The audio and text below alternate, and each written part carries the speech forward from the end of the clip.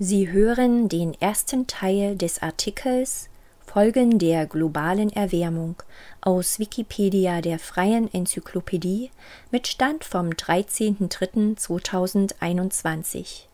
Der erste Teil befasst sich mit dem erwarteten Ausmaß der globalen Erwärmung und den Umweltauswirkungen.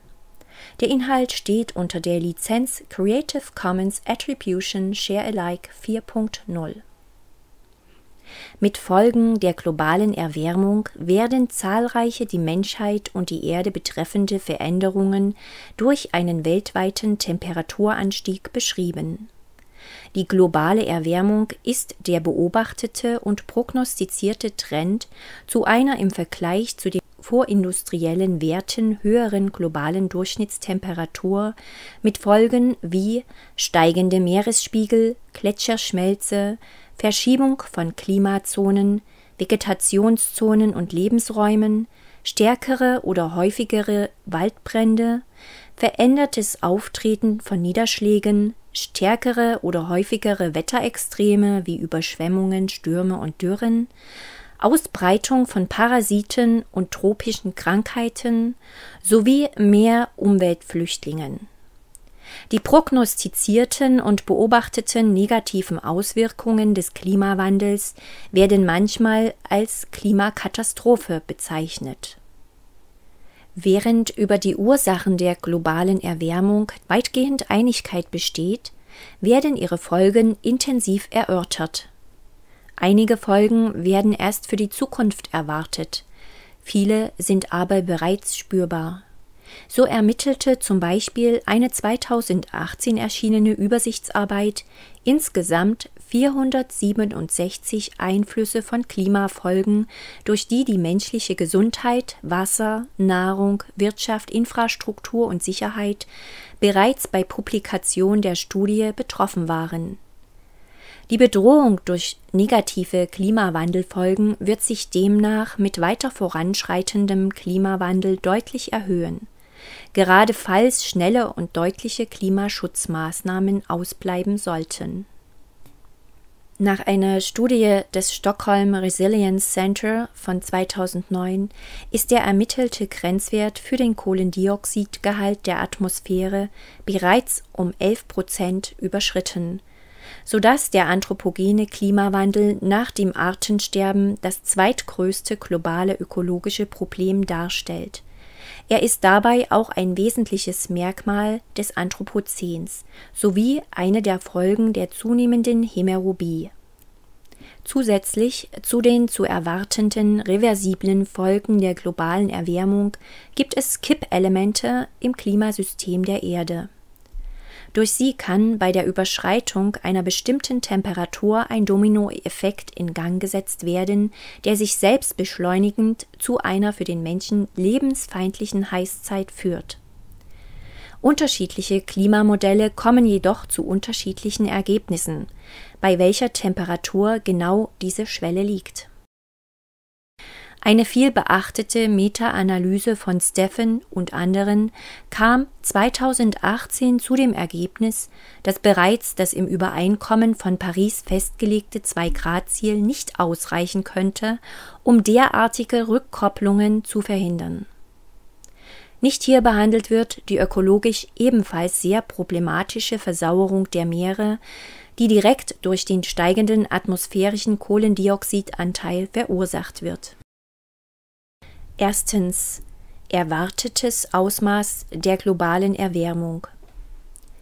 In welchem Ausmaß die Durchschnittstemperatur im Laufe des 21. Jahrhunderts ansteigt, hängt insbesondere von der Menge an Treibhausgasen ab, die ausgestoßen werden der Intergovernmental Panel on Climate Change, der IPCC, ein zwischenstaatlicher Ausschuss für Klimaänderungen, ging im fünften Sachstandsbericht davon aus, dass sich die globale Durchschnittstemperatur bis 2100 abhängig vom weiteren Anstieg der Emissionen um 1,5 bis 4,5 Grad Celsius erhöht Steigende Durchschnittstemperaturen verschieben das Temperaturspektrum. Während extreme Kälteereignisse seltener auftreten, werden außergewöhnliche Hitzeereignisse wahrscheinlicher. Wegen der möglichen Auswirkungen auf menschliche Sicherheit, Gesundheit, Wirtschaft und Umwelt hat die globale Erwärmung große Risiken, kann sich aber örtlich und regional auch positiv auswirken. Einige Veränderungen der Umwelt, die Menschen und Ökosysteme gemeinsam betreffen, sind schon wahrzunehmen. Dazu gehören steigende Meeresspiegel, Gletscherschmelze oder statistisch signifikante Abweichungen vom gewöhnlichen Wettergeschehen. Ob diese und weitere Folgen eintreten und wie stark sie sein werden, wird dabei recht unterschiedlich eingeschätzt.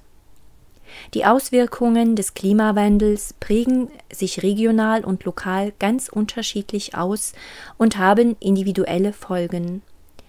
Die Klimamodelle beschreiben derzeit auf globaler Ebene die Folgen recht gut, können diese jedoch auf regionaler Ebene nur recht unsicher abschätzen.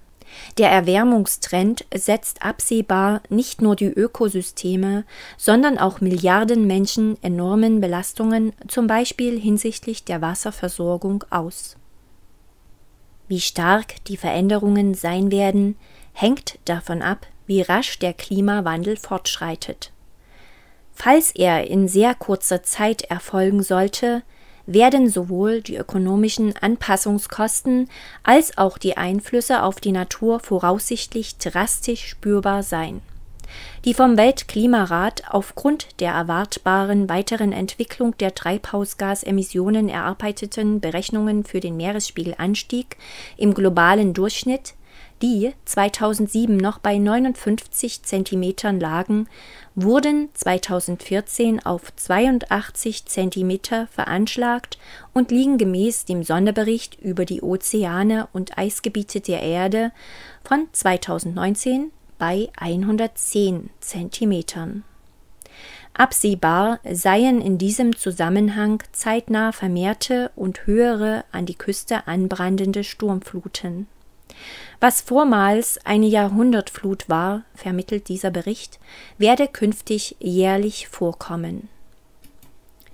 Im Emissions Gap Report 2019 geben die Vereinten Nationen konkrete Reduktionsgrößenordnungen für klimaschädliche Treibhausgase vor, da bei unveränderten Emissionen die Erdmitteltemperatur bis zum Ende des 21. Jahrhunderts um 3,4 bis 3,9 Grad Celsius zu steigen drohe. Um das 1,5 Grad Ziel zu halten, müssten die Treibhausgasemissionen zwischen 2020 und 2030 demnach jährlich um 7,6 Prozent sinken. Eine Begrenzung der Erwärmung auf 2 Grad Celsius erfordere eine jährliche Reduktion von 2,7 Prozent. Zweitens Umweltauswirkungen.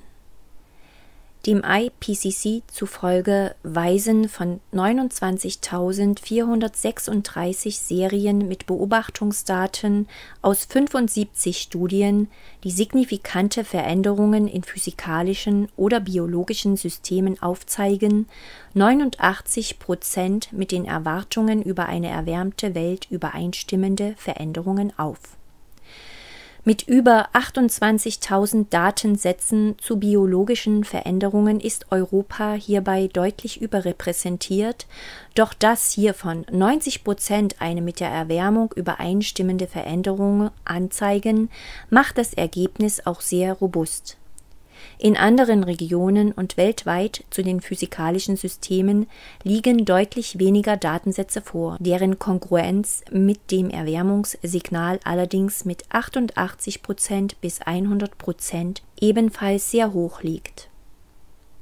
Der Abschnitt 2 Umweltauswirkungen ist folgendermaßen untergliedert. 2.1 Artenvielfalt, 2.2 Auswirkungen auf die Ozeane, 2.3 Auswirkungen auf tropische Wirbelstürme, 2.4 Binnengewässer, 2.5 Ergrünen der Sahara, 2.6 Polkappen, Eisschilde, 2.7 regionale Wärmerekorde, 2.8 Rückgang der Gletscher. 2.9 veränderte Jahreszeiten. 2.10 veränderte Niederschlagsmengen, Dürren und Überschwemmungen 2.11 Verschiebung der Klimazonen und 2.12 Waldbrände. 2.1 Artenvielfalt Stark erhöhte CO2-Konzentrationen und schneller Klimawandel waren in der Erdgeschichte mehrfach wesentliche Ursachen von Massenaussterben. Mittlerweile gilt als sehr wahrscheinlich, dass mit der globalen Erwärmung das Artensterben beschleunigt wird. Werden keine Maßnahmen zur Bekämpfung des Klimawandels getroffen, sind weltweit 16 Prozent aller Arten vom Aussterben bedroht wie eine 2015 in Science erschienene Übersichtsarbeit ergab. Südamerika mit 23 Prozent und Australien mit 14 Prozent sind die Kontinente mit dem größten Anteil bedrohter Arten. Für Europa betrug der Anteil 6 Prozent, für Nordamerika 5 Prozent. Bei Einhaltung des Zwei-Grad-Ziels könnte die Rate weltweit auf 5,2 Prozent reduziert werden. Laut dem vom Arktischen Rat in Auftrag gegebenen Arctic Climate Impact Assessment wird in zahlreichen polaren Gebieten die Artenvielfalt zunehmen, weil im Zuge der Erwärmung neue Arten in die Arktis einwandern werden und die Gesamtzahl der Arten und deren Produktivität zunehmen wird. Die Bramble Cay Mosaikschwanzratte wurde als erste Säugetierart, welche dem Klimawandel zum Opfer gefallen war, für ausgestorben erklärt. 2.2 Auswirkungen auf die Ozeane In den Ozeanen ist weltweit etwa 50 Mal mehr Kohlenstoff enthalten als in der Atmosphäre. Der Ozean wirkt als große Kohlenstoffdioxidsenke und nimmt circa ein Drittel der durch menschliche Aktivitäten freigesetzten Menge Kohlenstoffdioxid auf in den oberen Schichten der Ozeane wird es teilweise durch Photosynthese gebunden. Würden die Meere kein Kohlendioxid lösen, läge die atmosphärische Konzentration von Kohlenstoffdioxid einer Untersuchung aus dem Jahre 2004 zufolge um 55 ppm, also Parts per Million, höher, zum damaligen Zeitpunkt also statt 380 ppm bei wenigstens 435 ppm. Über den Zeitraum von Jahrhunderten gerechnet sind die Ozeane in der Lage, bis zu 90 Prozent der anthropogenen CO2-Emissionen aufzunehmen Verschiedene Effekte sorgen jedoch dafür, dass mit steigenden Temperaturen und wachsendem atmosphärischen CO2-Anteil die Aufnahmefähigkeit der Meere für Kohlenstoff abnimmt. Wie weit die Aufnahmefähigkeit sinkt, lässt sich schwer beziffern. In einem Szenario mit über das 21. Jahrhundert stark ansteigenden Emissionen liegt der über diesen Effekt aufgenommene Anteil bei nur noch 22 Prozent. Nur in einem Emissionsszenario mit strengem Klimaschutz steigt der aufgenommene Anteil. Der Unterabschnitt 2.2 Auswirkungen auf die Ozeane ist folgendermaßen untergliedert. 2.2.1 Anstieg der Meeresspiegel, 2.2.2 Erwärmung und 2.2.3 Veränderung der Meeresströmungen 2.2.1 Anstieg der Meeresspiegel Siehe dazu auch den Hauptartikel Meeresspiegelanstieg seit 1850. Eine Grafik veranschaulicht die Änderung des globalen Meeresspiegels in Zentimetern im Zeitraum von 1870 bis 2009. Der Meeresspiegel ist Messungen zufolge zwischen 1870 und 2009 um circa 25 Zentimeter angestiegen und steigt weiter. Als Folge der Erderwärmung erhöht sich der Meeresspiegel. Zwischen 1901 und 2010 ist er um circa 1,7 Zentimeter pro Jahrzehnt gestiegen, wobei sich der Anstieg seit 1993 auf circa 3,2 Zentimeter pro Jahrzehnt erhöht hat. Einem Bericht der WMO zufolge hat sich der Anstieg des Meeresspiegels im Zeitraum 2014 bis 2019 weiter beschleunigt auf jährlich 5 Millimeter. Nach verschiedenen Szenarien des IPCC werden bis 2100 Anstiege zwischen 0,4 Meter bei strengem Klimaschutz und 0,67 Meter bei weiter steigenden Emissionen bei Business as usual gegenüber dem Stand der 1990er Jahre erwartet die Erhöhung fällt nicht gleichmäßig aus, sondern stellt sich aufgrund von Meeresströmungen und anderen Faktoren regional unterschiedlich dar. Der mögliche Kollaps von Teilen des antarktischen Eisschildes ist in diesen Berechnungen noch nicht eingeschlossen und würde zu massiven zusätzlichen Erhöhungen führen. Für die Meeresspiegelerhöhung werden im Wesentlichen zwei Faktoren verantwortlich gemacht zum einen dehnt sich das Meerwasser bei höheren Temperaturen stärker aus, zum anderen kommt es bei höheren Temperaturen zum verstärkten Abschmelzen von Gletschern. Allein für die thermische Ausdehnung bis 2100 werden Werte von 13 bis 18 Zentimetern bei Erhöhung der Lufttemperatur um 1,1 bis 1,5 Grad Celsius und 19 bis 30 Zentimetern bei 2,2 bis 3,5 Grad Celsius genannt. Durch die zusätzlichen Beiträge des Schmelzwassers dürften diese sich noch verdoppeln. Wenn sich die Erwärmung bei 3 Grad Celsius gegenüber dem vorindustriellen Wert stabilisiert, wird eine Meeresspiegelerhöhung bis zum Jahr 2300 um 2,5 bis 5,1 Metern prognostiziert Davon entfallen 0,4 bis 0,9 Meter auf die thermische Ausdehnung, 0,2 bis 0,4 Meter auf das Abschmelzen von Gebirgskletschern, 0,9 bis 1,8 Meter auf das Abschmelzen der Gletscher Grönlands und 1 bis 2 Meter auf das Schmelzen der Gletscher der Westantarktis Besonders einige kleine Länder im Pazifischen Ozean, deren Landfläche nur wenig über dem Meeresspiegel liegt, müssen fürchten, dass sie in den nächsten Jahrzehnten im Meer versinken. Neben Inselstaaten sind besonders Küstenregionen und Städte bedroht. Zu den Risiken gehören gesteigerte Küstenerosion, höhere Sturmfluten, veränderte Grundwasserspiegel, Schäden an Gebäuden und Häfen oder die Verschlechterung der Bedingungen für Landwirtschaft und Aquakulturen. Ohne Gegenmaßnahmen würden bei einem Anstieg des Meeresspiegels um einen Meter weltweit 150.000 Quadratkilometer Landfläche dauerhaft überschwemmt werden, davon 62.000 Quadratkilometer küstennahe Feuchtgebiete 180 Millionen Menschen wären betroffen und 1,1 Billionen Dollar an zerstörtem Besitz wären bei heutiger Bevölkerung und Besitzstand zu erwarten.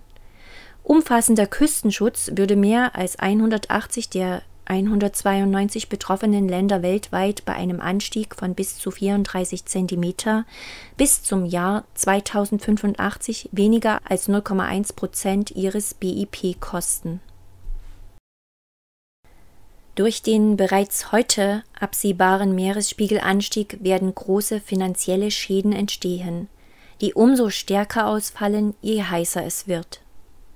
So kam eine 2018 erschienene Studie zum Ergebnis, dass der Meeresspiegelanstieg bei Einhaltung des 1,5 Grad Ziels im Jahr 2100 pro Jahr weltweit Folgekosten von 10,2 Billionen US-Dollar pro Jahr verursacht. Würde hingegen nur das weniger ambitionierte 2-Grad-Ziel eingehalten, so würden die Kosten pro Jahr um 1,5 Billionen Dollar höher ausfallen.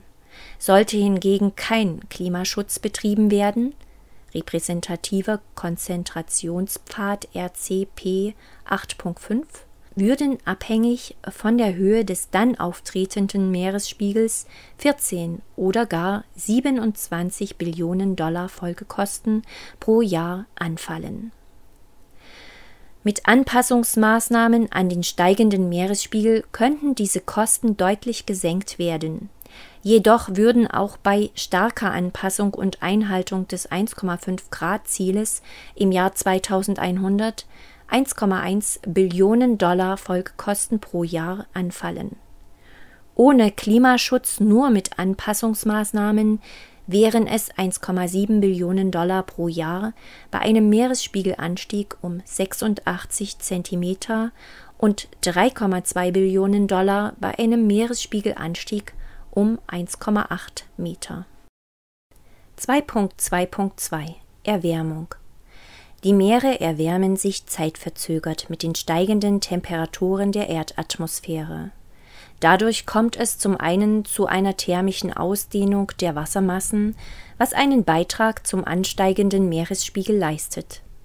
Für das Ökosystem Ozean gravierender sind aber die zahlreichen weiteren mit einer erhöhten Wassertemperatur einhergehenden Effekte Global gemittelt hat sich der gesamte Wasserkörper aller Ozeane seit 1955 lediglich um 0,04 Grad Celsius erwärmt. Diese geringe Erwärmung liegt darin begründet, dass bislang nur einige hundert Meter der obersten Wasserschichten wärmer geworden sind.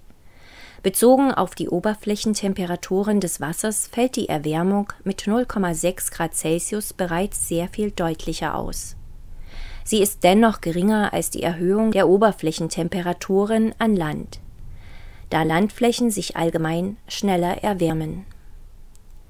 Zwischen 1993 und 2005 wird die gesamte Erwärmungsrate der Wasserschichten bis 750 Meter Meerestiefe mit 0,33 plus minus 0,23 Watt pro Quadratmeter berechnet die Erwärmung der Meere hat Folgen für ihre Bewohner wie Fische und Meeressäuger.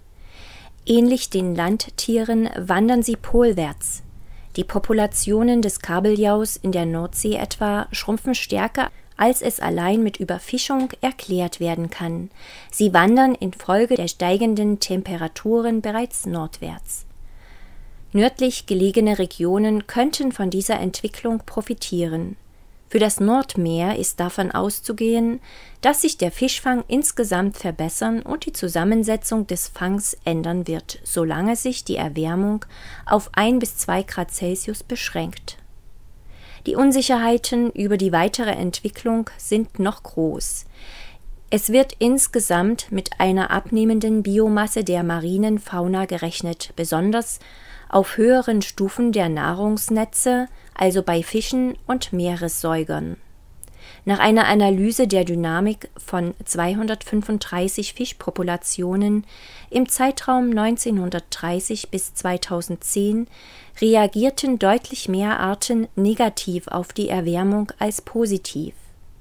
Die maximale Fangmenge, die bei nachhaltiger Fischerei entnommen werden kann, ist demnach in diesem Zeitraum wegen der steigenden Meerestemperaturen um 4,1 Prozent gesunken. Abnahme des Sauerstoffgehalts Wärmeres Wasser kann weniger Sauerstoff speichern, sodass die Erwärmung der Meere zur Ausdehnung sauerstoffarmer Bereiche führt.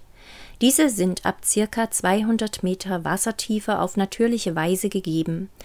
Nach einer Messkampagne zeigte sich laut Presseveröffentlichungen vom Frühjahr 2018 jedoch im Golf von Oman unerwartet bereits ein Gebiet von mehr als der Größe Schottlands als sauerstoffarm. Beobachtungen und numerische Modelle deuten darauf hin, dass der Sauerstoffgehalt der Meere global seit Mitte des 20. Jahrhunderts um ein bis zwei Prozent abgenommen hat Besonders deutlich ist die Abnahme in der nördlichen Hemisphäre. Algenblüte, toxische Algenblüten, die explosionsartige Vermehrung von Makroalgen und anderem Phytoplankton, Cyanobakterien, Dinoflagellaten, Kieselalgen, die Toxine bilden, werden seit den 1980er Jahren häufiger und in ausgedehnteren Regionen an den Meeresküsten beobachtet. Neben Faktoren wie dem Nährstoffeintrag durch Flüsse sind Klimaänderungen die Ursache, und zwar sowohl der steigende Temperaturtrend der Meere als auch Extremereignisse wie marine Hitzewellen und Sauerstoffarmut.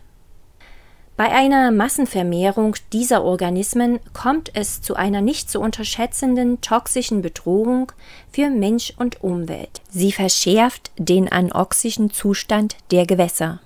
Es kann so viel Gift produziert werden, dass auch Fische und andere Meereslebewesen getötet werden. Carenia brevis produziert die Brevitoxine und kann bei den von ihnen erzeugten roten Tiden zu Massensterben bei Fischen, Vögeln und Säugern führen. Giftige Dinoflagellaten, zum Beispiel Alexandrium catenella, Carlodinium veneficum, produzieren mehr Zellgift, wenn das Wasser saurer wird wie es wegen der steigenden CO2-Konzentrationen der Fall ist. Ein nicht zu unterschätzendes Problem für den Menschen ist die Verseuchung von Nahrungsquellen durch giftige Algenarten. Toxische Algenblüten haben mit hoher Sicherheit schon jetzt eine negative Wirkung auf die Lebensmittelsicherheit, menschliche Gesundheit, aber auch Tourismus und Wirtschaft betroffener Regionen, Beispielsweise führte eine Algenblüte nahe der Baja California im Jahr 2016 zu Verlusten von 42 Millionen US-Dollar, allein in der Thunfischindustrie. Besonders dort, wo es keine Beobachtungs- und Warnsysteme gibt, sind Menschen gefährdet. Siehe dazu auch Folgen der globalen Erwärmung in Kalifornien. Korallenbleiche die Erwärmung des Meerwassers kann bei Korallenriffen die sogenannte Korallenbleiche hervorrufen, die bei länger anhaltender Belastung zum Tod der Koralle führt. Unterschiedliche Taxa von Korallen weisen stark unterschiedliche Toleranzen gegenüber der Korallenbleiche auf. Beispielsweise ist Porites weit weniger anfällig für die Bleiche als Acropora Daher ging die Wissenschaft noch 2003 davon aus, dass Korallenriffe als Reaktion auf Meereserwärmungen nicht verschwinden, sondern sich vor allem in ihrer Artenzusammensetzung verändern. Der Wissenschaftliche Beirat der Bundesregierung für globale Umweltveränderungen hielt zum Beispiel in einem Sondergutachten von 2006 ein Modell für realistisch, indem sich die unterschiedlichen Schwellenwerte für das Absterben der Korallen mit der Zeit durch Akklimatisierung und Evolution verändern und so eine begrenzte Anpassung an den Klimawandel ermöglichen. Mit Stand 2017 stellt das zukünftige Verschwinden von Korallenriffen aber einen ernstzunehmenden Fakt dar durch die globale Erwärmung kam es mittlerweile mehrfach zu schweren Korallenbleichen, bei denen zum Beispiel das Great Barrier Reef schwer geschädigt wurde.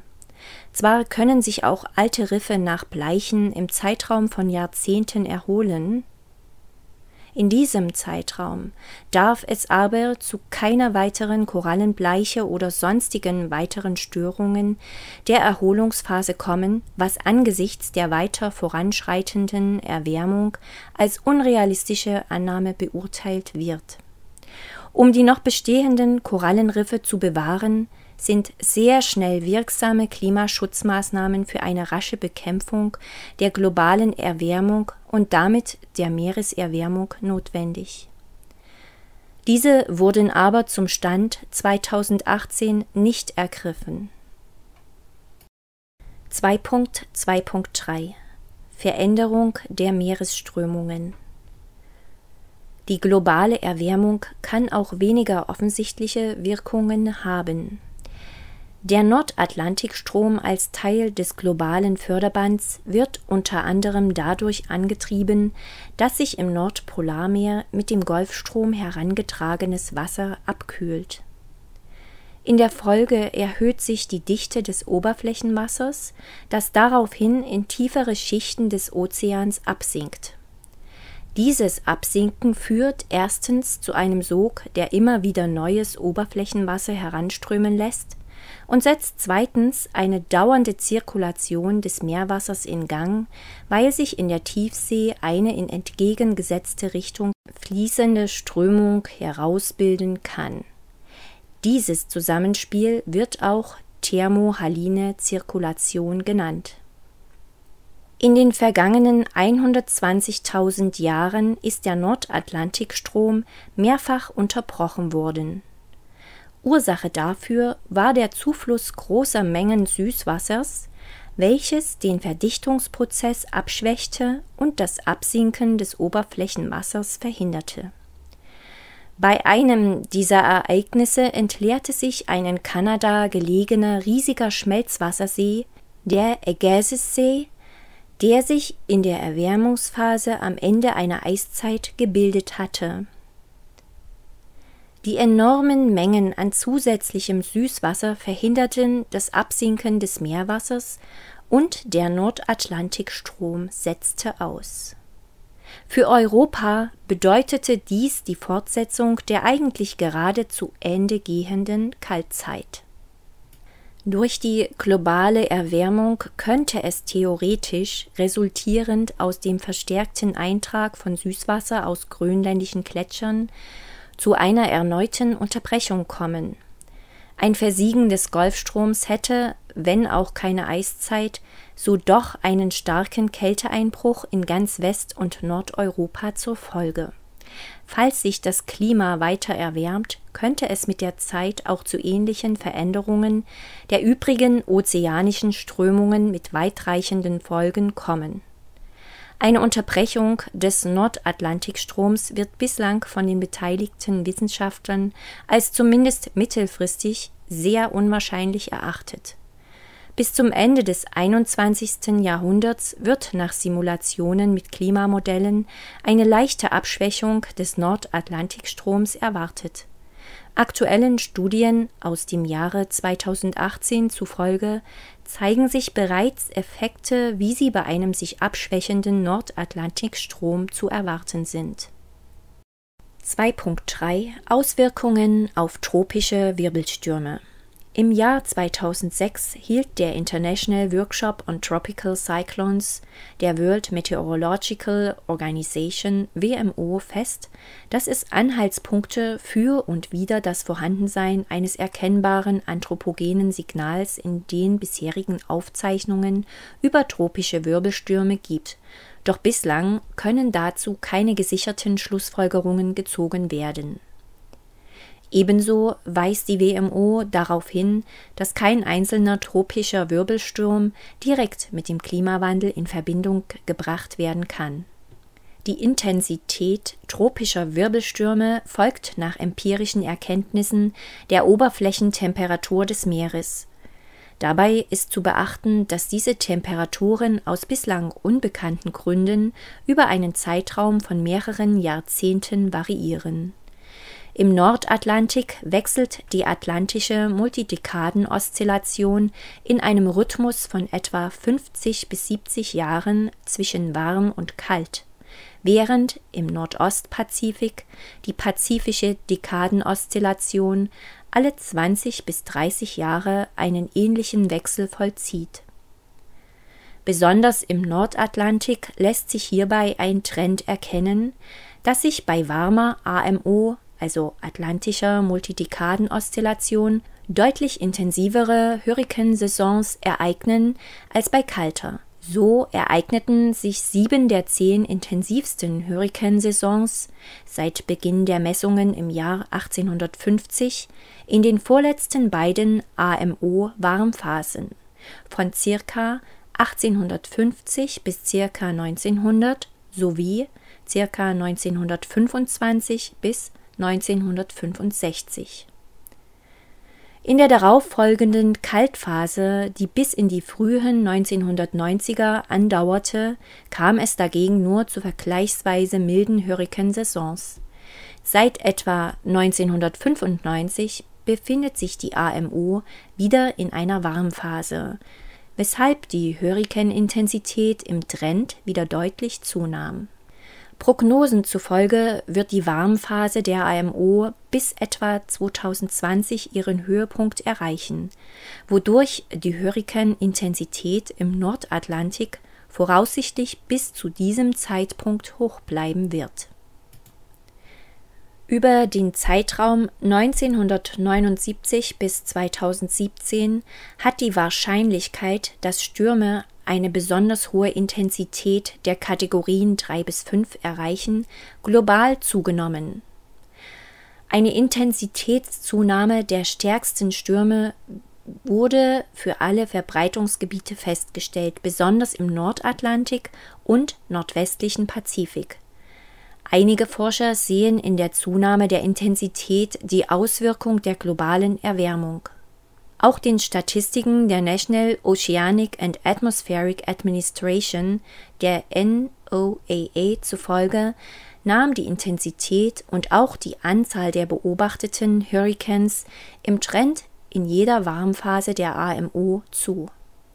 Die zunehmende Anzahl ist laut NOAA auf verbesserte Observationsinstrumente und Analysemethoden zurückzuführen.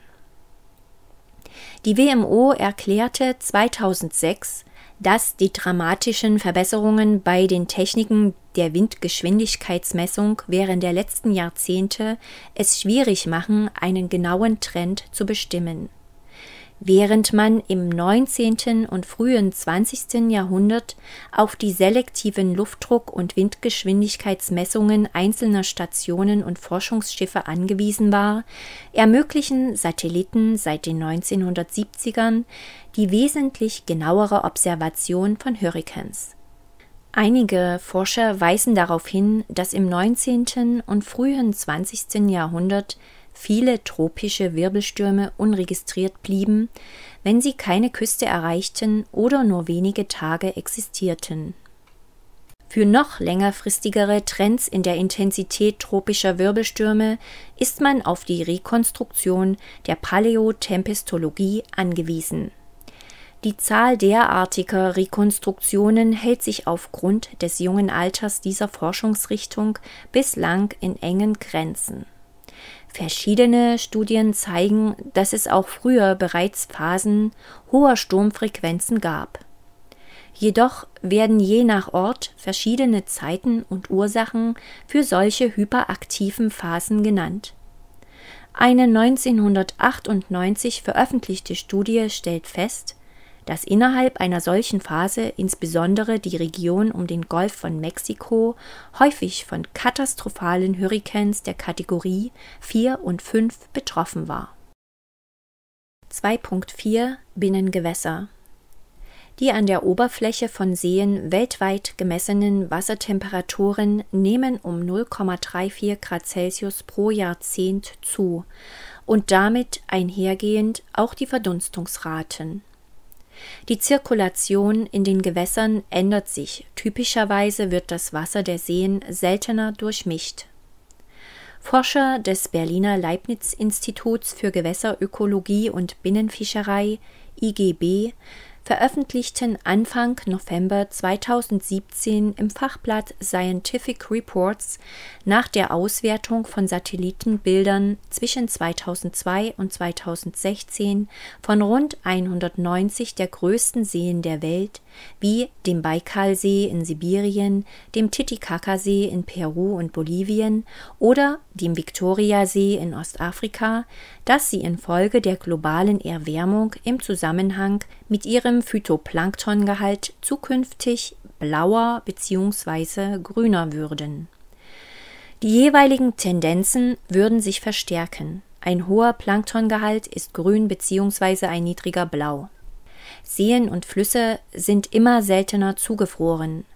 Von 1984 bis 2018 ging einer Auswertung von Satellitendaten zufolge die mit Eis bedeckte Fläche von Flüssen global um 2,5 Prozent zurück.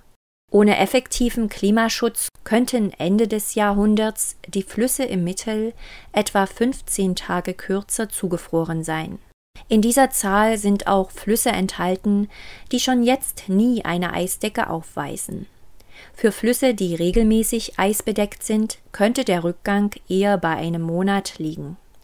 Die Zahl der Seen, die nur noch sporadisch zugefroren sind, wird sich in der Nordhemisphäre einer Schätzung zufolge bei einer Erwärmung um 2 Grad Celsius mehr als verdoppeln. Das hat Folgen für fast 400 Millionen Menschen. Bei einer Erwärmung um 8 Grad Celsius könnte die Zahl um mehr als das 15-fache zunehmen.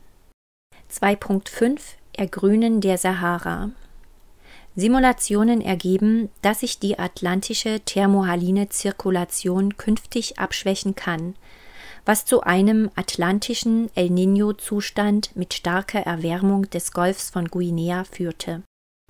Damit würde der westafrikanische Monsun zusammenbrechen und in der Folge nach Norden in die Sahara ausweichen ein Ergrünen dieser Region gehört damit zu den möglichen Effekten der globalen Erwärmung.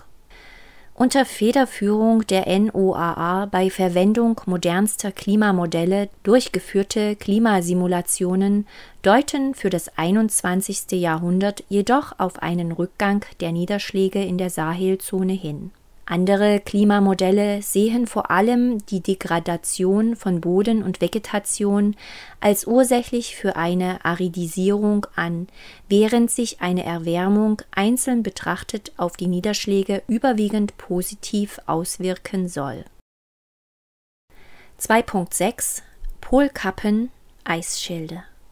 Schmelzendes Meereis hat für den Meeresspiegel nur geringfügige Folgen da Meereis aus Süßwasser besteht und in gefrorenem wie flüssigem Zustand eine geringere Dichte aufweist als das darunterliegende Meerwasser, würde das Schmelzen allen Meereises und der schwimmenden Eisschelfe den weltweiten Meeresspiegel um circa vier Zentimeter anheben. Dagegen sieht das Bild für die Eisschilde von Grönland und der Antarktis anders aus. Ein vollständiges Abschmelzen als Worst-Case-Szenario hätte im Fall des grönländischen Eisschildes einen steigenden Wasserpegel von sieben Metern zur Konsequenz. Im Fall der Westantarktis wären es sechs Meter.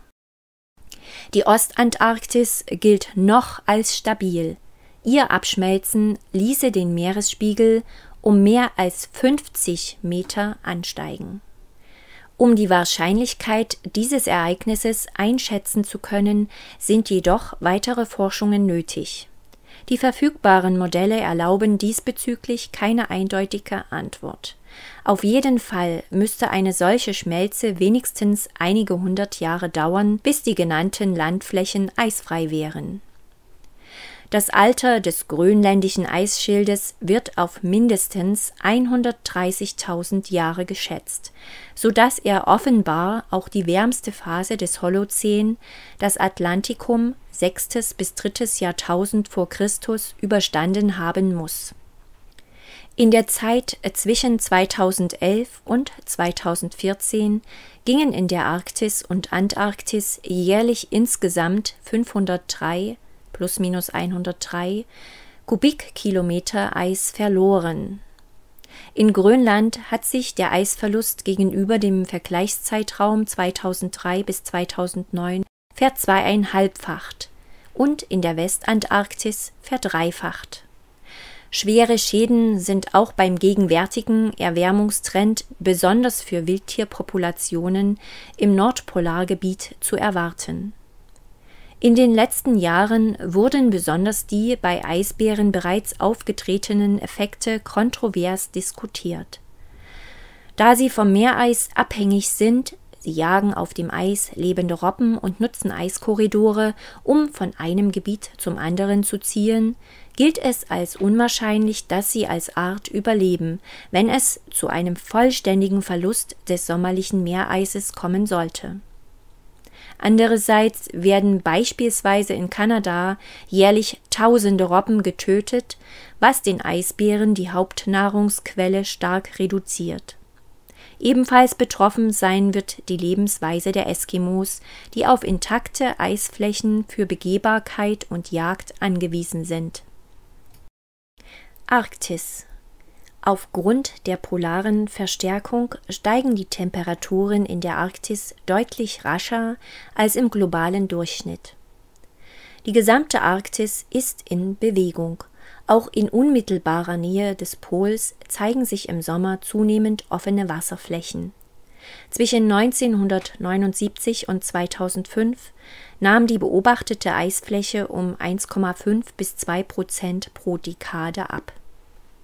Am 8. August 2007, einem Monat vor dem normalerweise erst im September erreichten Minimum, wurde mit 5,8 Millionen Quadratkilometern die geringste je ermittelte Ausdehnung gemessen.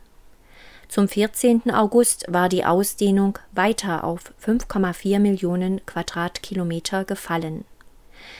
Der Flächenverlust hatte sich in den Wintern 2005 und 2006 bereits erheblich beschleunigt.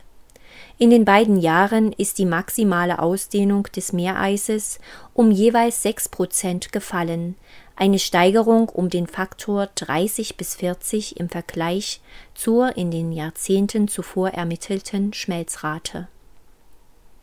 Zwischen 1979 und 2006 konnte für jeden Monat im Vergleich zum Vorjahreswert ein deutlicher Verlust an Meereis festgestellt werden. Am stärksten ist dieser für den September, traditionell der Monat mit der geringsten Ausdehnung, wo er 8,6 plus minus 2,9 Prozent pro Jahrzehnt beträgt. Größere Unsicherheiten bestehen in der Erfassung der Dicke des Eispanzers. Hier schwanken die Angaben zwischen 40 Prozent und 8 bis 15 Prozent Abnahme. Zwischen Mitte und Ende des 21. Jahrhunderts ist Stand 2006 nach Modellberechnungen bei fortschreitender Erwärmung mit einem eisfreien Nordpolargebiet in den Sommermonaten zu rechnen. Der Massenverlust in Grönland betrug 2006 nach verschiedenen Messungen zwischen 239 plus minus 23 Kubikkilometer und 224 plus minus 41 Kubikkilometer pro Jahr. Antarktis. In der Antarktis zeigt sich bislang ein anderes Bild. Hier erhöhte sich die mittlere Temperatur seit dem 19. Jahrhundert um geschätzte 0,2 Grad Celsius. Während sich der antarktische Kontinent letztmals zwischen 1958 und 1970 leicht erwärmte, zeigen die antarktischen Temperaturaufzeichnungen der letzten 32 Jahre weder eine Erwärmung noch eine Abkühlung. Über die genaue Entwicklung der Antarktis besteht Unsicherheit, da Akkumulation in den Kernbereichen und Schmelzprozesse in den Randbereichen eine geschlossene Massenbilanz sehr erschweren. Die erste vollständige Schwerkraftanalyse über den gesamten antarktischen Eisschild zeigte, dass im Beobachtungszeitraum zwischen April 2002 und August 2005 der jährliche Verlust an Eismasse durchschnittlich 152 plus minus 80 Kubikkilometer betrug. In dieses komplexe Problem der im Regelfall sehr trägen Eisdynamik spielen zudem lokal wie global ergänzende Faktoren hinein, die zum Beispiel plattentektonischer oder isostatischer Natur sein können. Diese sind eher auf lange Zeiträume angelegt, im Winter 2007 erreichte die Fläche des antarktischen Meereises mit 16,17 Millionen Quadratkilometern die größte Ausdehnung seit Beginn der Messungen im Jahr 1979. Die zunehmende antarktische Meereisfläche kann mit anwachsendem Schneefall durch die sich erwärmende Luft erklärt werden Laut Scientific Reports schmelzen an den Küsten der Antarktis selbst bisher stabile Permafrostböden vor allem wegen einer intensiveren Sonneneinstrahlung schneller als bislang erwartet.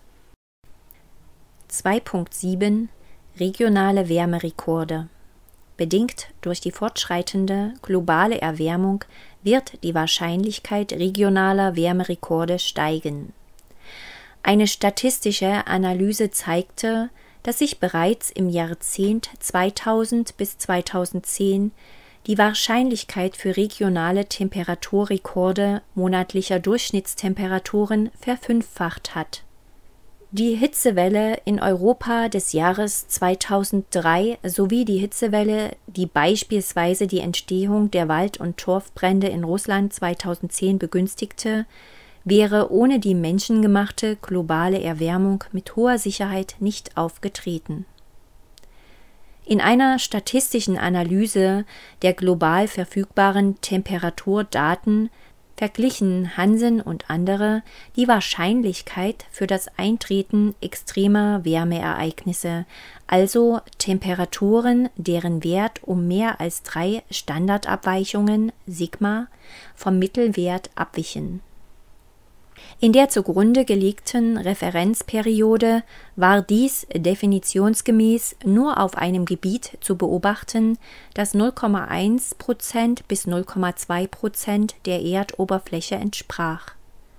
Als Vergleichsperiode wurde der Zeitraum 2006 bis 2011 gewählt, der global um etwa 0,6 Kelvin wärmer war Bereits diese auf den ersten Blick geringe Erwärmung führte dazu, dass die Fläche, auf der in dieser Zeit Hitzewellen mit Temperaturen größer als drei Standardabweichungen auftraten, ein Gebiet betraf, das zwischen 4 Prozent und 11 Prozent der Erdoberfläche groß war. Bei einer Erwärmung um ein Kelvin werden Wärmeanomalien, die vormals als drei Sigma-Ereignisse galten, also mit einer Wahrscheinlichkeit von 0,13 Prozent auftreten, die neuen normalen Durchschnittstemperaturen. Und 5 Sigma Wärmeanomalien werden so wahrscheinlich, wie es vormals 3 Sigma Wärmeanomalien waren. 5 Sigma entsprechen einer Wahrscheinlichkeit von einem Ereignis pro eine Million Jahre. Eine globale Erwärmung um 4 Grad Celsius würde in einigen Regionen der Tropen zu jährlich beobachtbaren Durchschnittstemperaturen führen, die ohne eine derartige Erwärmung des Planeten sonst nur einmal alle eine Million Jahre auftreten würde. 2.8 Rückgang der Gletscher eng mit dem Anstieg des Meeresspiegels verbunden, aber mit zahlreichen weiteren Folgen für Trinkwasserversorgung und lokale Ökosysteme einhergehend, ist der Rückgang der Gebirgsgletscher, der im 19. Jahrhundert begann und sich seitdem erheblich beschleunigt hat. Gletscher sind sehr träge Gebilde, was dafür sorgt, dass sie weniger durch einzelne Wetterlagen beeinflusst werden, als vielmehr durch langjährige Klimaveränderungen. Daher sind sie in ihrer Gesamtheit ein guter Indikator für langfristige Temperaturtrends, auf die sie deutlich empfindlicher reagieren. 83 Prozent aller Gletscher schrumpften zwischen 1970 und 2004. Die durchschnittliche Rate des Rückgangs aller Gletscher betrug dabei 0,31 Meter pro Jahr. Die Massenbalance der globalen Gletscher ist durch diesen Rückgang seit 1960 deutlich negativ. Gletscher nehmen im Winter Wasser in Form von Eis auf. Im Sommer geben sie es als Schmelzwasser an Flüsse ab. Durch die kontinuierliche Gletscherschmelze seit dem Ende der kleinen Eiszeit nahm die von den Flüssen geführte Wassermenge vor allem im Sommer zu. So hat die zusätzlich frei werdende Wassermenge aus den Himalaya-Gletschern zu einer Steigerung der landwirtschaftlichen Produktivität in Nordindien geführt im umgekehrten Fall führte die Ausweitung der Karakorum-Gletscher durch die regional sinkenden Sommertemperaturen seit 1961 zu einer Abnahme der sommerlichen Wassermenge der Flüsse Hunza und Shyok um 20 Prozent. Den Prognosen des IPCC zufolge wird das Volumen der nordhemisphärischen Gletscher bis 2050 durchschnittlich um weitere 60 Prozent zurückgehen. In der zweiten Hälfte des 21. Jahrhunderts wird deshalb zunehmend effizienteres Wassermanagement nötig sein, um die dann rückläufigen sommerlichen Wassermengen der Flüsse auszugleichen. Andernfalls wird der Rückgang der verfügbaren Wassermenge die landwirtschaftliche Produktion in einigen Gebieten erheblich mindern. 2.9 Veränderte Jahreszeiten eine der bereits sichtbaren Folgen der globalen Erwärmung ist die zeitliche Verschiebung der Jahreszeiten in klimatischer Hinsicht.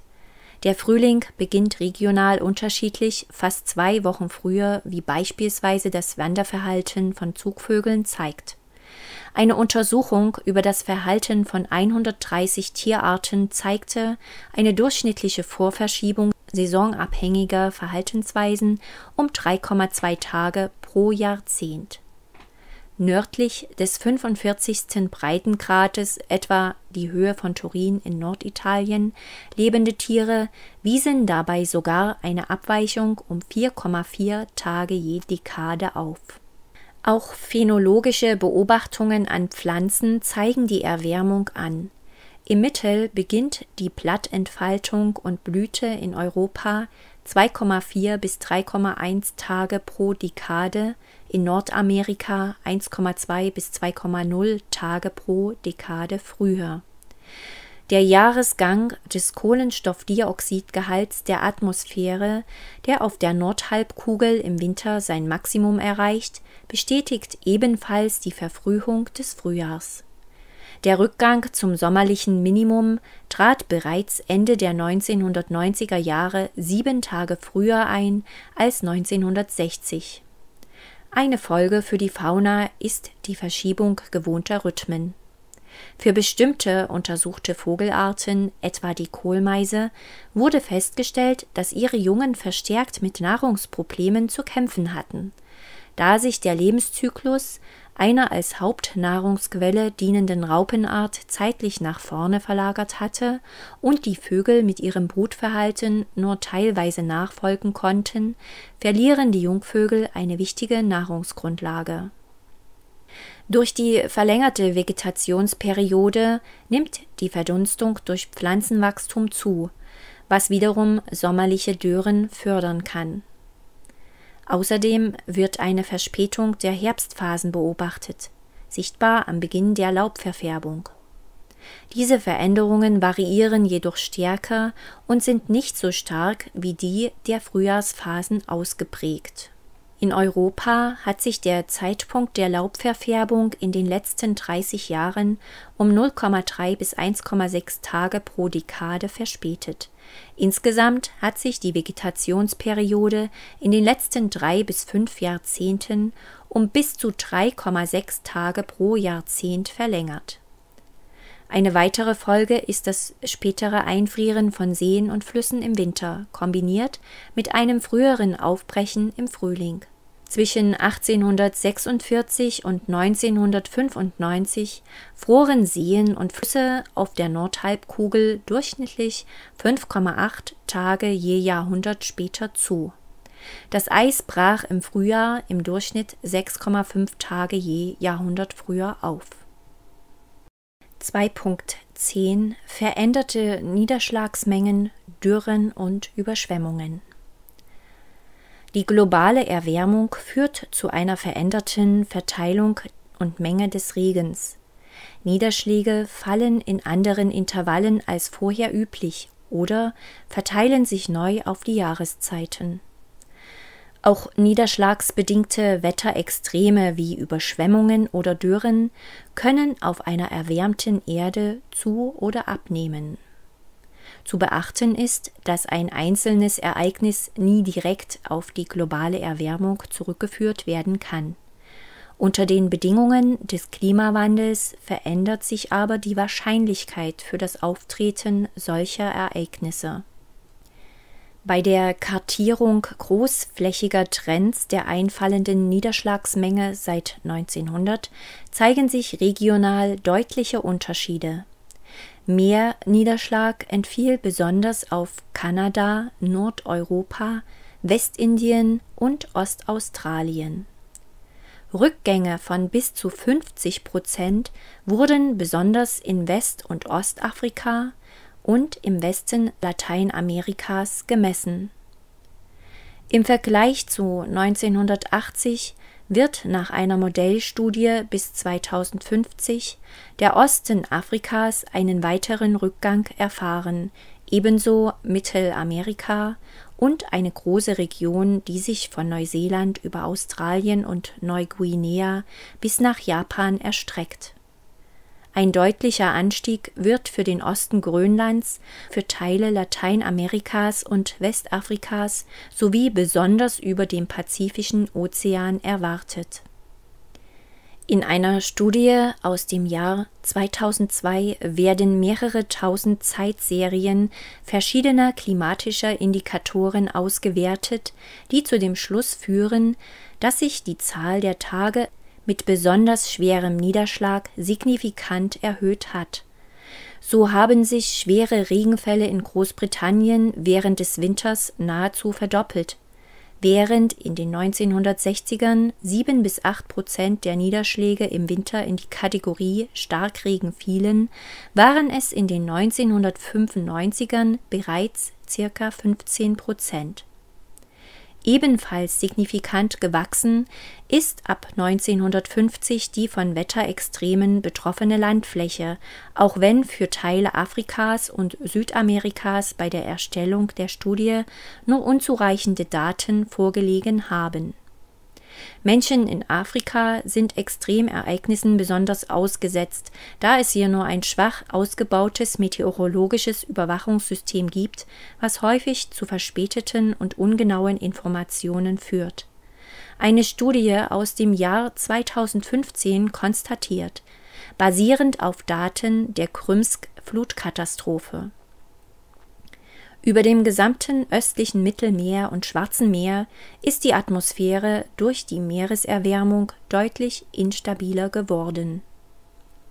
Einer Studie von 2012 zufolge hat sich der Wasserkreislauf der Erde zwischen 1950 und 2000 um 4 Prozent verstärkt. Mit jedem Grad Celsius an Erwärmung wird der Wasserkreislauf laut Studie um rund 8 Prozent beschleunigt was Niederschlagsmuster verändere und Ungleichgewichte in der globalen Wasserversorgung verschärfe. Dies führe zu mehr Trockenheit in bereits trockenen Regionen und einer Zunahme von Überschwemmungen in bereits wasserreichen Gebieten.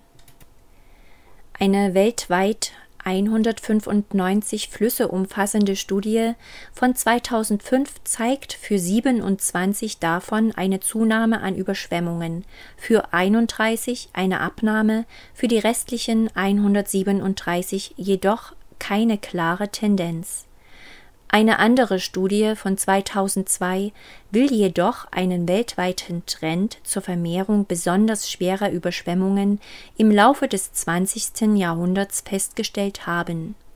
Dieser Trend stimme mit den erwarteten Wirkungen der globalen Erwärmung überein und es wird prognostiziert, dass er sich im 21. Jahrhundert weiter verschärfe Dabei ist zu berücksichtigen, dass menschliche Eingriffe in natürliche Flussverläufe ebenfalls einen erheblichen Einfluss auf die Häufigkeit und Schwere von Überschwemmungen haben können und dass eine zunehmende Ansiedlung von Menschen in Flussnähe den durch eine Überschwemmung verursachten Schaden weiter erhöhen könnte.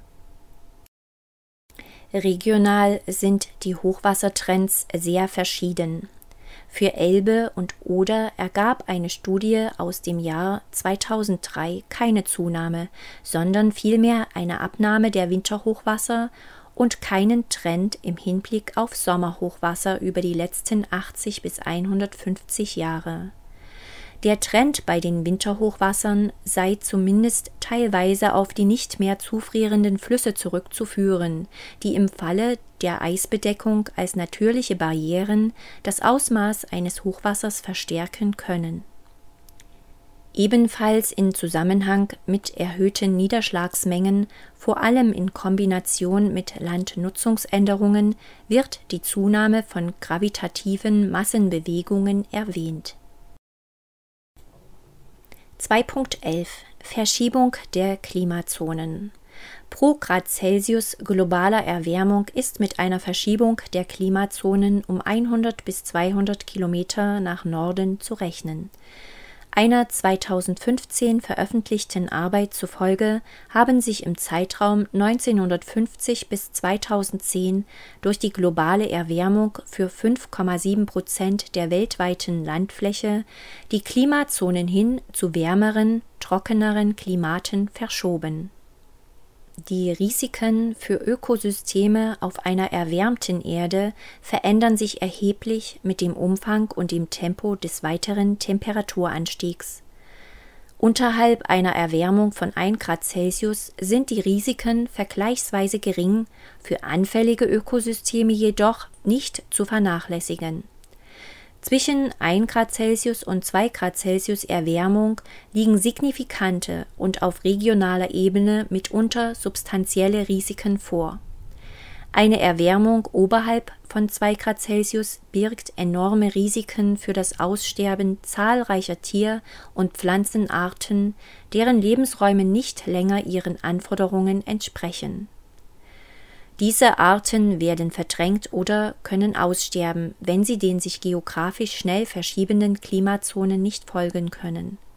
Das trifft insbesondere auf die Pflanzenwelt zu, so dass die Verschiebung der Vegetationszonen deutlich langsamer nachziehen wird. Andere Arten können sich unter den veränderten Bedingungen stärker ausbreiten. Darüber hinaus drohen über 2 Grad Celsius Temperaturanstieg sogar kollabierende Ökosysteme, deutlich verstärkt auftretende Hunger- und Wasserkrisen sowie weitere sozioökonomische Schäden, besonders in Entwicklungsländern Je größer die Übergangsgebiete, die Zonoökotone, zwischen den abgrenzbaren Großlebensräumen, den Zonobiomen, sind, desto geringer werden die Auswirkungen klimatischer Veränderungen sein. Für die einzelnen Klimazonen werden die folgenden Veränderungen prognostiziert. Polargebiet Bedrohung der Artenvielfalt durch Schrumpfung der Tundren, Auftauen der Permafrostböden kalt gemäßigtes Klima, vermehrte Waldbrände, Insektenbefall und Krankheiten, Ausbreitung von Infektionskrankheiten.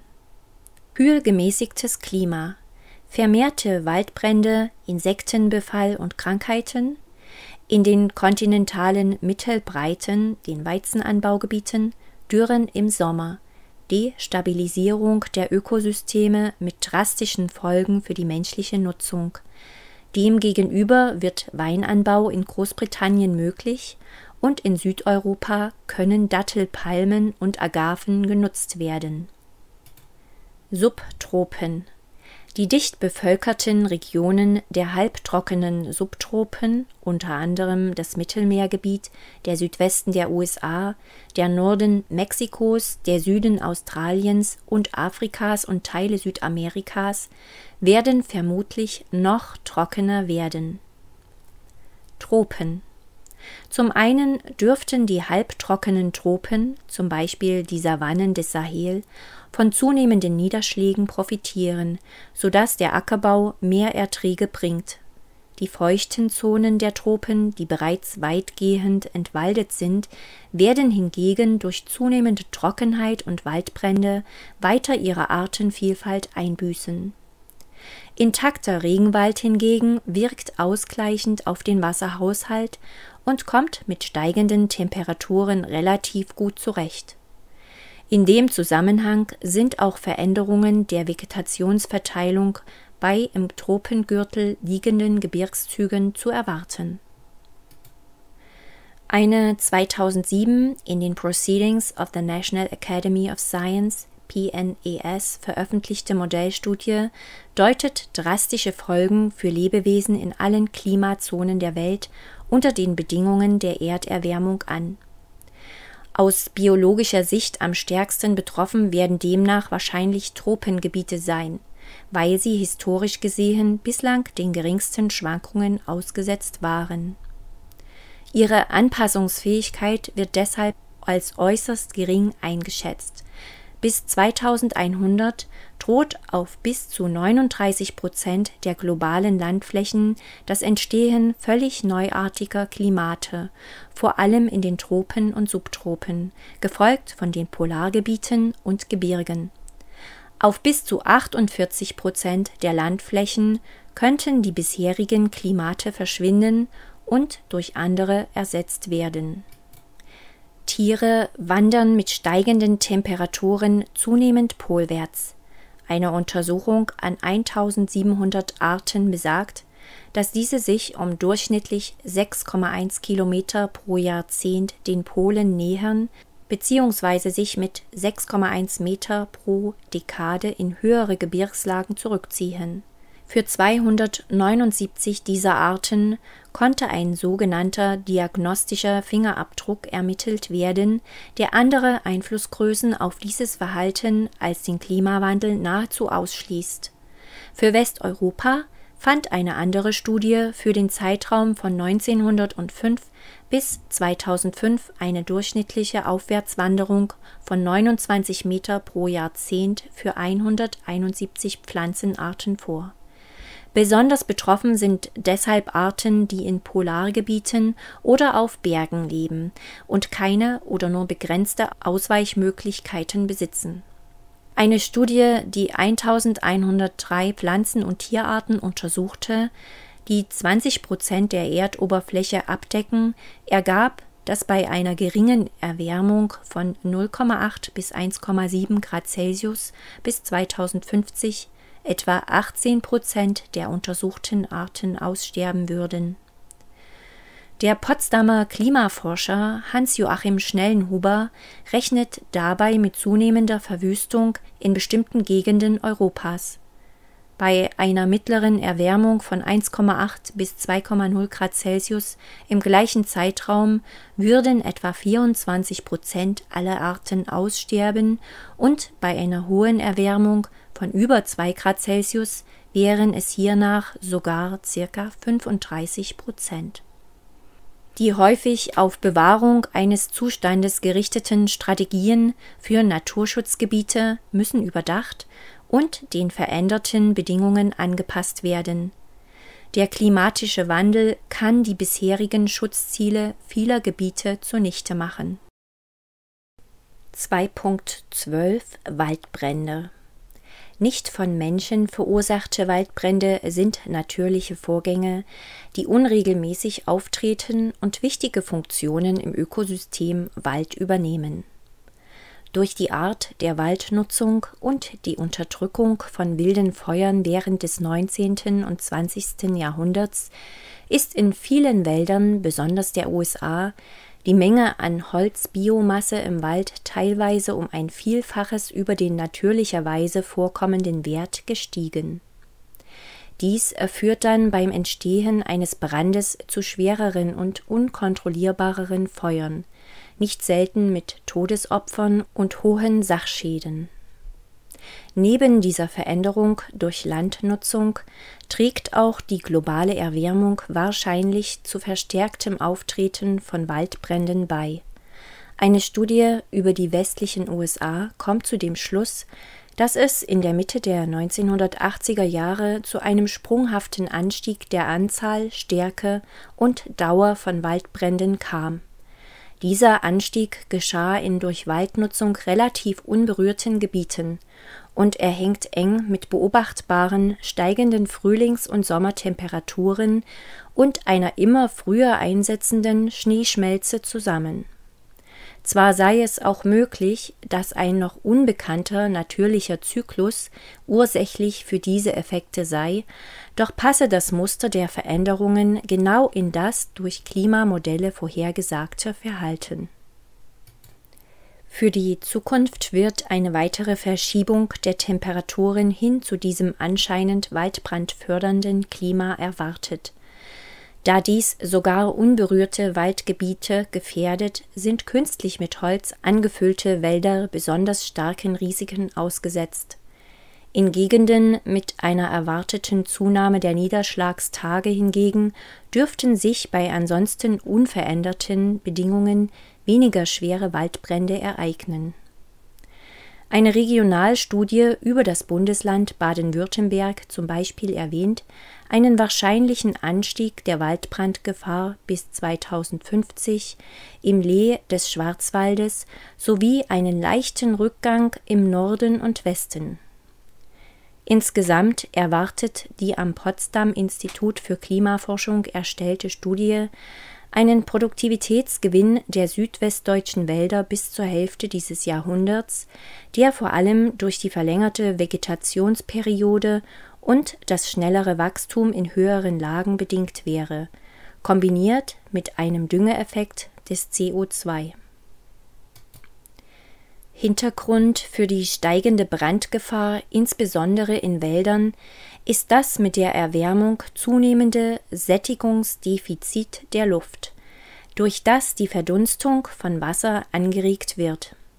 Hierdurch kommt es zu einer verstärkten Trocknung von potenziellem Brennstoff wie Holz, was wiederum die Gefahr großer Flächenbrände exponentiell erhöht eine 2019 publizierte Studie kam zu dem Ergebnis, dass sich die verbrannte Waldfläche in Kalifornien zwischen 1972 und 2018 verachtfachte und dass nahezu der gesamte Anstieg an verbrannter Fläche auf das gestiegene Sättigungsdefizit der Luft infolge der Temperaturzunahme zurückzuführen ist damit habe die menschengemachte globale Erwärmung die Flächenbrandaktivität in Kalifornien schon stark erhöht und werde sie sehr wahrscheinlich in der Zukunft noch weiter erhöhen Sie hörten den ersten Teil des Artikels Folgen der globalen Erwärmung.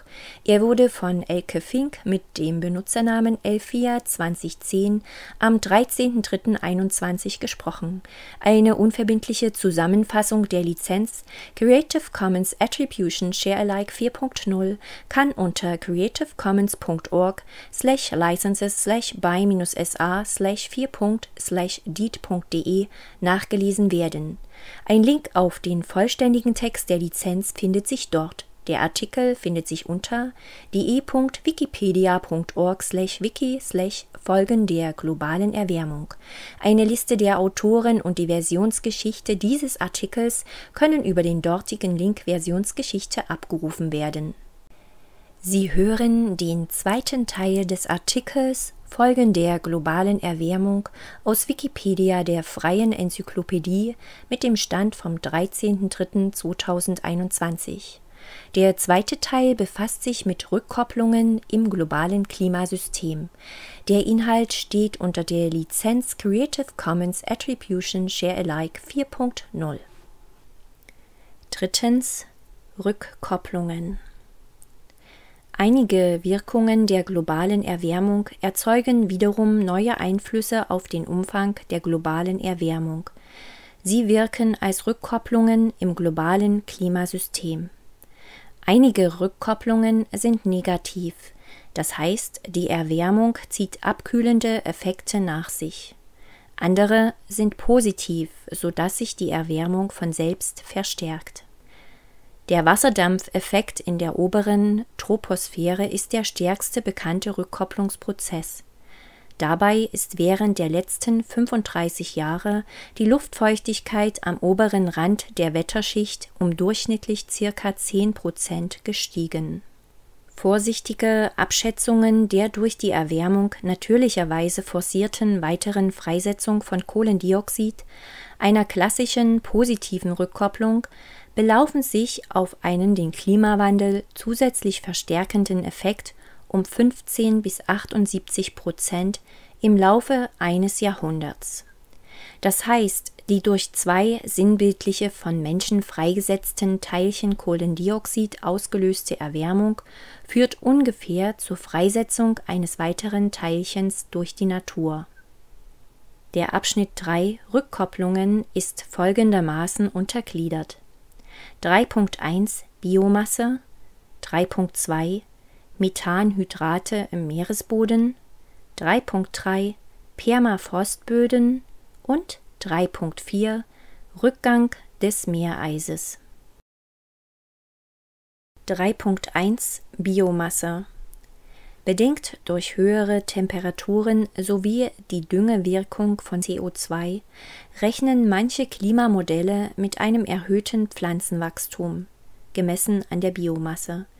Dies wird auch durch Beobachtungen der Paläoklimatologie gestützt, die von einer Abhängigkeit zwischen Biomasse und Temperatur ausgeht diese verbesserten Wachstumsmöglichkeiten für Pflanzen führen zu einem negativen Rückkopplungseffekt.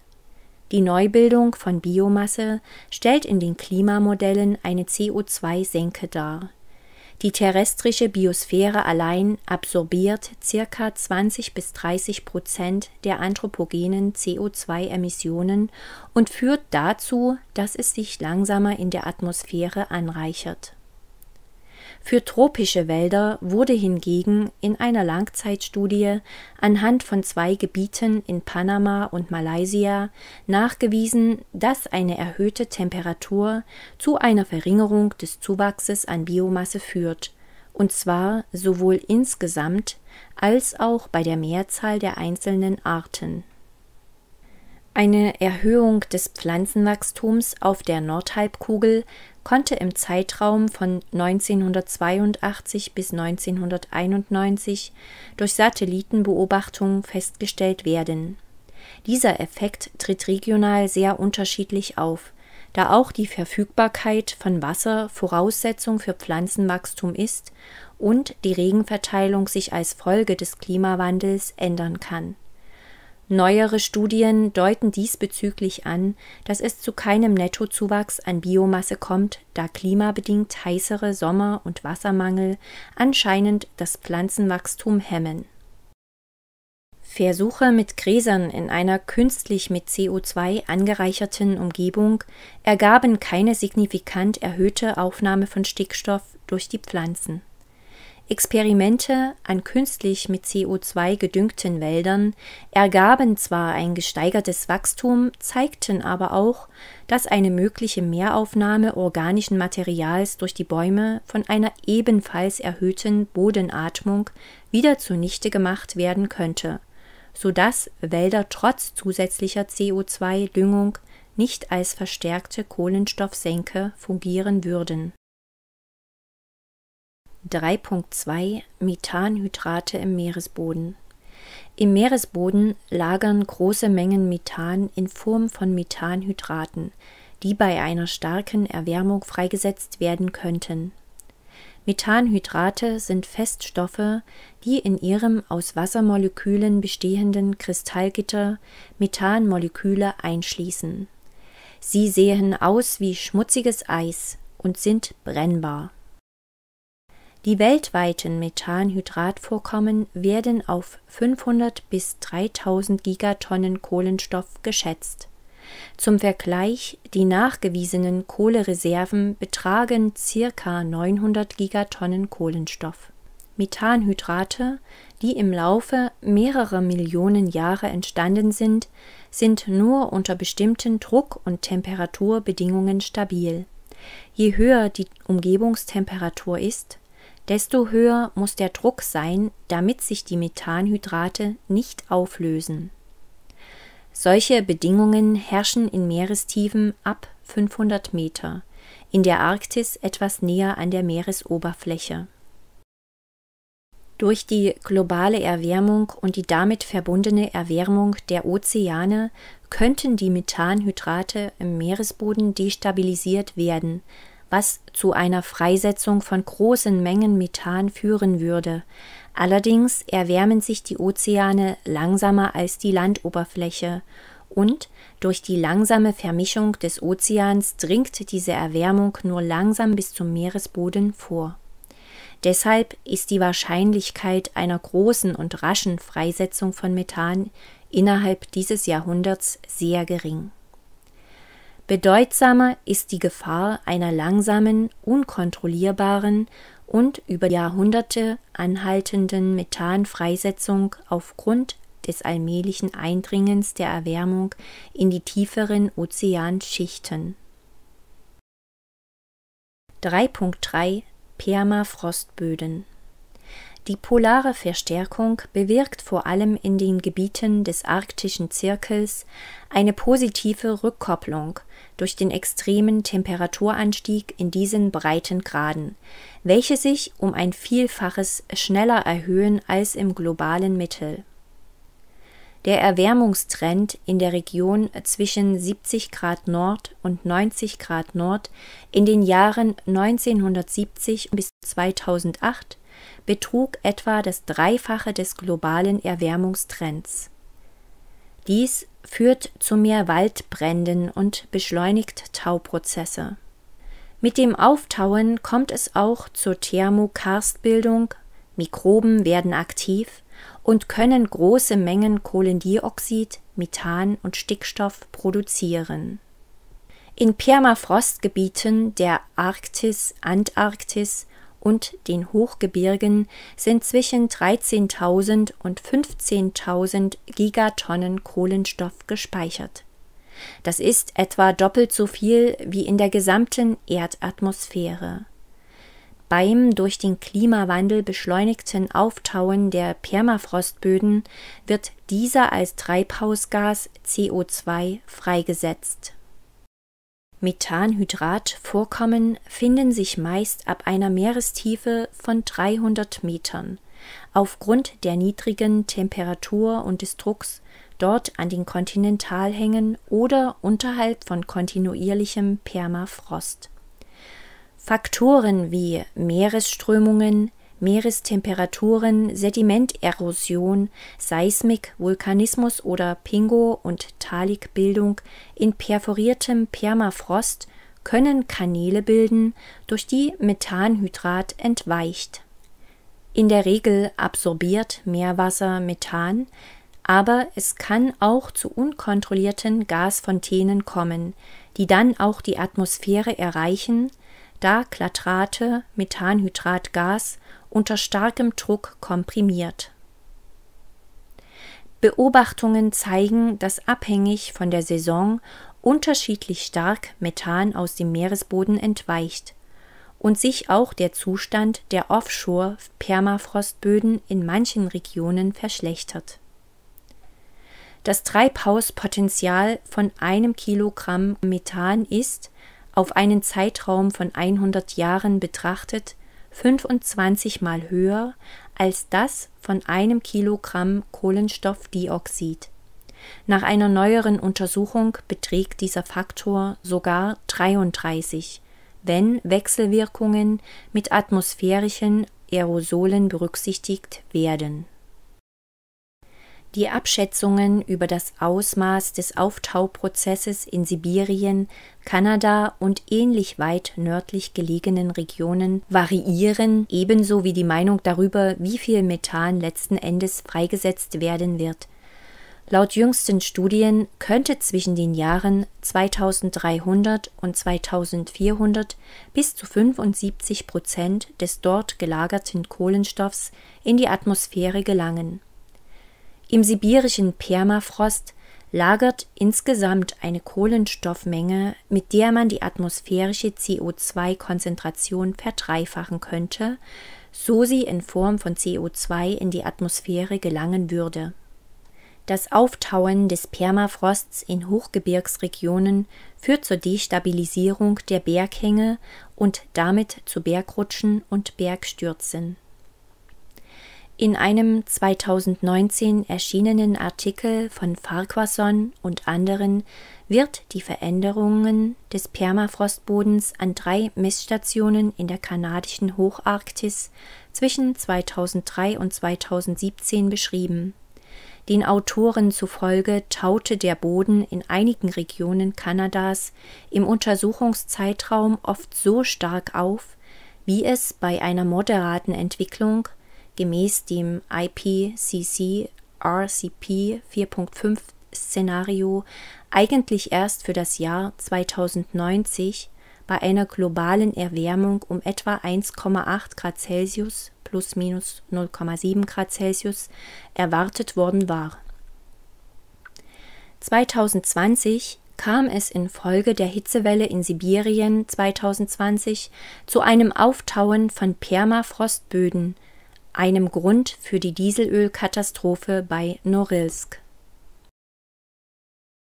3.4 Rückgang des Meereises durch die globale Erwärmung nimmt das Meereis, das bis zu 15 Prozent der Weltmeere bedeckt, ab. Die Ozeane haben ein geringeres Rückstrahlvermögen von Sonnenlicht als die Eisflächen, weil Licht tief in die obersten Wasserschichten eindringen kann und dort absorbiert wird.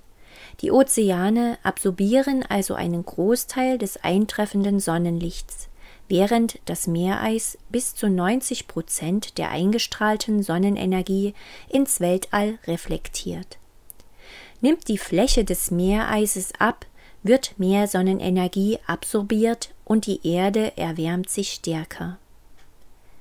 Die arktische Meereisfläche, die sich im Winter bildet und im Sommer zum Teil wieder verschwindet, hat im September 2012 mit circa 3,5 Millionen Quadratkilometern das geringste je gemessene Ausmaß angenommen.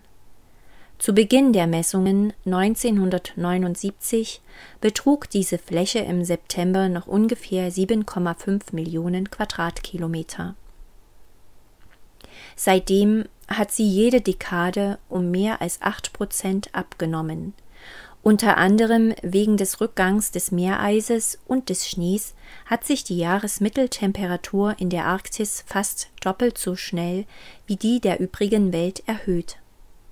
Nach verschiedenen Prognosen wird sich die Arktis in den nächsten 100 Jahren um weitere 4 bis 7 Grad Celsius erwärmen Sie hörten den zweiten Teil des Artikels Folgen der globalen Erwärmung.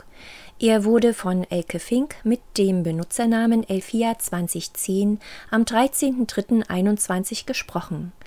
Eine unverbindliche Zusammenfassung der Lizenz Creative Commons Attribution Share Alike 4.0 kann unter creativecommons.org slash licenses slash by-sa slash 4.0 slash deed.de nachgelesen werden. Ein Link auf den vollständigen Text der Lizenz findet sich dort. Der Artikel findet sich unter de.wikipedia.org slash wiki slash Folgen der globalen Erwärmung. Eine Liste der Autoren und die Versionsgeschichte dieses Artikels können über den dortigen Link Versionsgeschichte abgerufen werden. Sie hören den dritten Teil des Artikels Folgen der globalen Erwärmung aus Wikipedia, der freien Enzyklopädie, mit dem Stand vom 13.03.2021. Der dritte Teil befasst sich mit politischen, wirtschaftlichen und gesellschaftlichen Auswirkungen. Der Inhalt steht unter der Lizenz Creative Commons Attribution Share Alike 4.0. Viertens. Politische, wirtschaftliche und gesellschaftliche Auswirkungen. Der Abschnitt 4 ist folgendermaßen untergliedert. 4.1 Gesundheit 4.2 Landwirtschaft 4.3 Kriege und gewaltsame Konflikte 4.4 Sozialwissenschaftliche Aspekte 4.5 Energieversorgung und Nutzung 4.6 Tourismus 4.7 Umweltflucht und Umweltmigration 4.8 Versicherungsschäden und 4.9 Volkswirtschaftliche Schäden. 4.1 Gesundheit.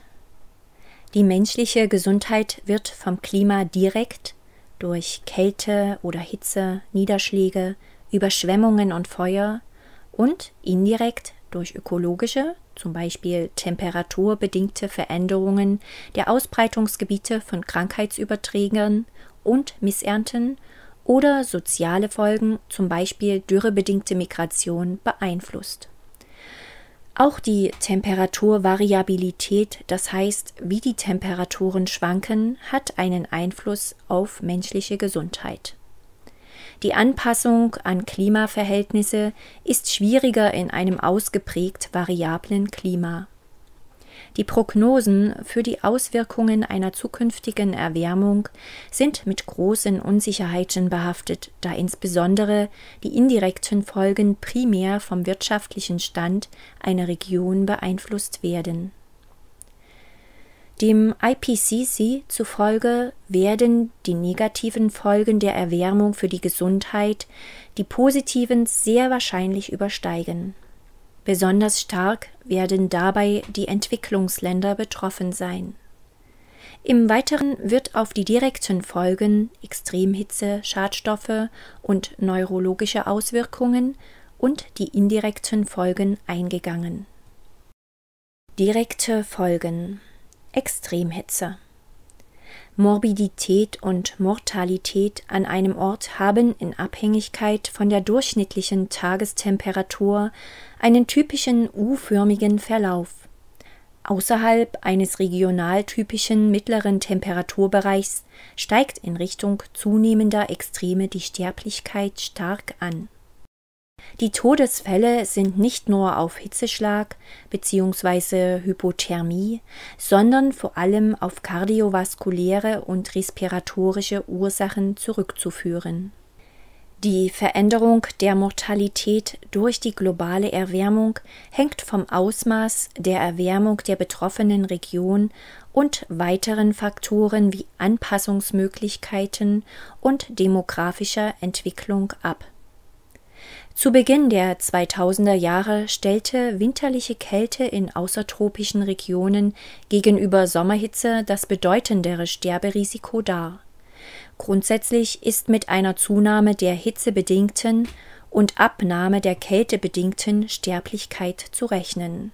Gegenüber dem Zeitraum 2000 bis 2004 lag 2014 bis 2018 die mit Hitze einhergehende Mortalität über 65 Jahre alter Menschen weltweit um mehr als 50 Prozent höher.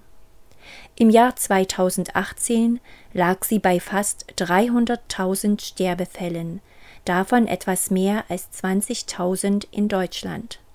Eine Abschätzung für 400 Städte in 23 Ländern weltweit die von keiner Anpassung und keinen demografischen Änderungen ausgeht, kam zu dem Ergebnis, dass in Nord- und Südamerika, in Zentral- und Südeuropa und in Südostasien generell die Sterblichkeit zunimmt.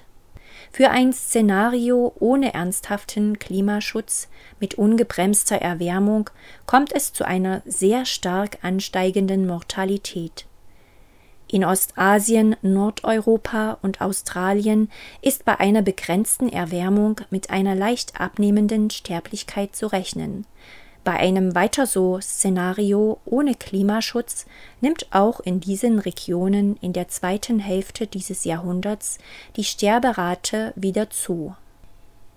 Am Persischen Golf in Regionen Nordchinas und in dicht besiedelten Regionen Südasiens, so in den Tälern des Ganges und des Indus, drohen Modellrechnungen zufolge ohne wirksamen Klimaschutz gegen Ende des Jahrhunderts Hitzewellen mit Kühlgrenztemperaturen, die ab 35 Grad Celsius zum Tod führen, wenn Menschen ihnen mehrere Stunden ausgesetzt sind Hohe Kühlgrenztemperaturen treten speziell in der Kombination von hohen Lufttemperaturen mit hoher Luftfeuchte auf. Vorerst sind Kühlgrenztemperaturen auch in den heißesten Regionen der Erde nur selten über 31 Grad Celsius angestiegen. Doch haben sie sich in der Region um den Persischen Golf 2015 örtlich bereits einmal dem final kritischen Wert von 35 Grad Celsius genähert.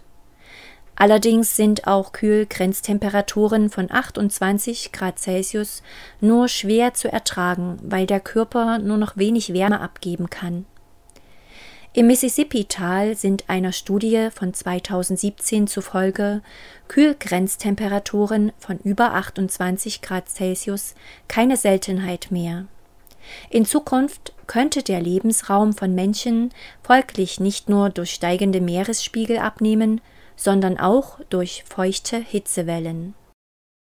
In Europa starben um 2000 jedes Jahr deutlich mehr Menschen an Kälte als an Hitze, wobei jedoch zu beachten ist, dass es trotz gravierend unterschiedlicher Durchschnittstemperaturen gleichermaßen in Helsinki wie in Athen zu Todesfällen durch Hitze und Kälte kommt.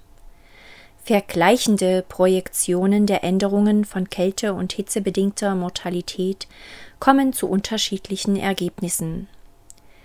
Keating und andere 2000 zum Beispiel gingen davon aus, dass in Europa bei einer regionalen Erwärmung um weniger als 2 Grad Celsius die zu erwartende Zunahme an Hitzetoten durch die globale Erwärmung bei weitem durch den Rückgang an Kältetoten ausgeglichen wird.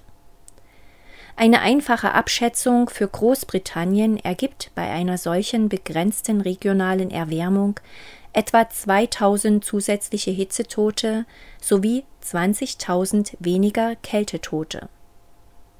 Das Jahr 2020 war im europäischen Mittel bereits um die 2 Grad Celsius wärmer als die zweite Hälfte des 19. Jahrhunderts.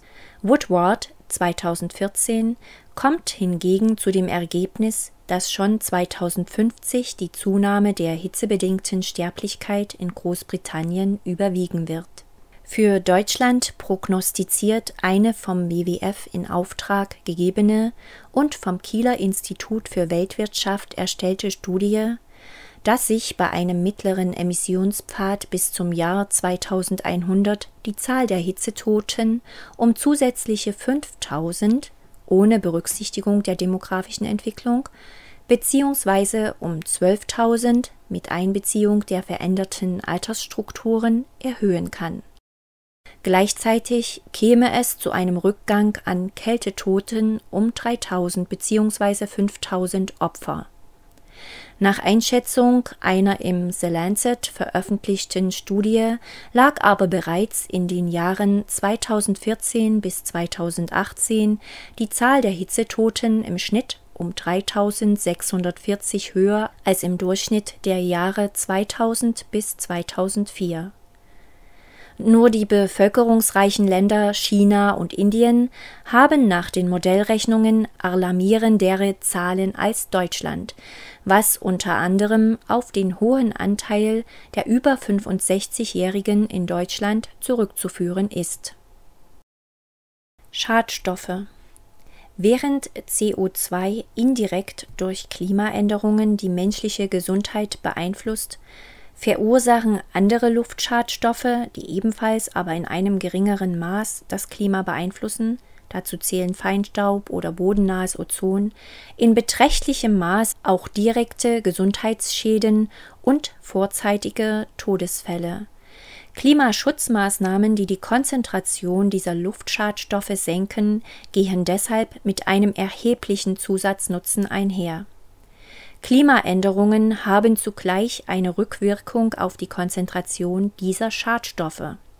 Niederschlag ist die wichtigste Feinstaubsenke. Trockenperioden erhöhen also die Feinstaubkonzentrationen. Hohe Temperaturen und intensive Sonneneinstrahlung begünstigen die Bildung von bodennahem Ozon. Besonders durch verstärkte Ozonbildung hat der Klimawandel wahrscheinlich schon jetzt zu erheblichen Gesundheitsschäden geführt.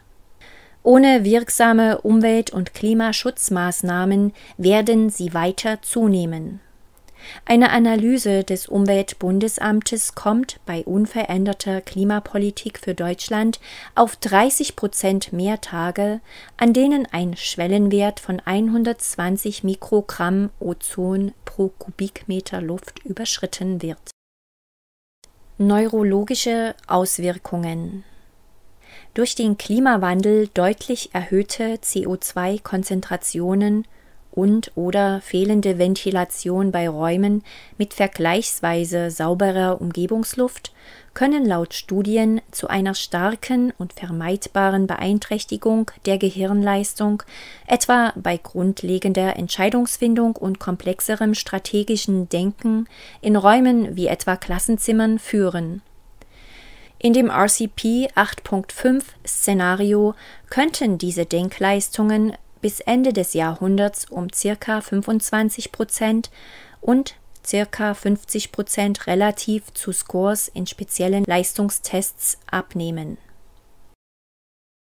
Indirekte Folgen zu den indirekten Folgen der globalen Erwärmung zählt die regionale Änderung von Gesundheitsrisiken durch Veränderung des Verbreitungsgebiets der Population und des Infektionspotenzials von Krankheitsüberträgern wie Stechmücken, zum Beispiel Anopheles, Überträgerin der Malaria, Flöhen oder Zecken durch die Erwärmung werden nach bisherigen Erkenntnissen einige Gebiete für Überträger höchstwahrscheinlich unbewohnbar werden, andere bisher unbewohnbare wiederum könnten von ihnen als neue Lebensräume erschlossen werden ob sich die weltweiten Ausbreitungsgebiete insgesamt vergrößern, verkleinern oder gleich bleiben, ist dabei nicht nur von klimatischen Faktoren, sondern auch vom jeweiligen Überträger und entsprechenden Gegenmaßnahmen abhängig.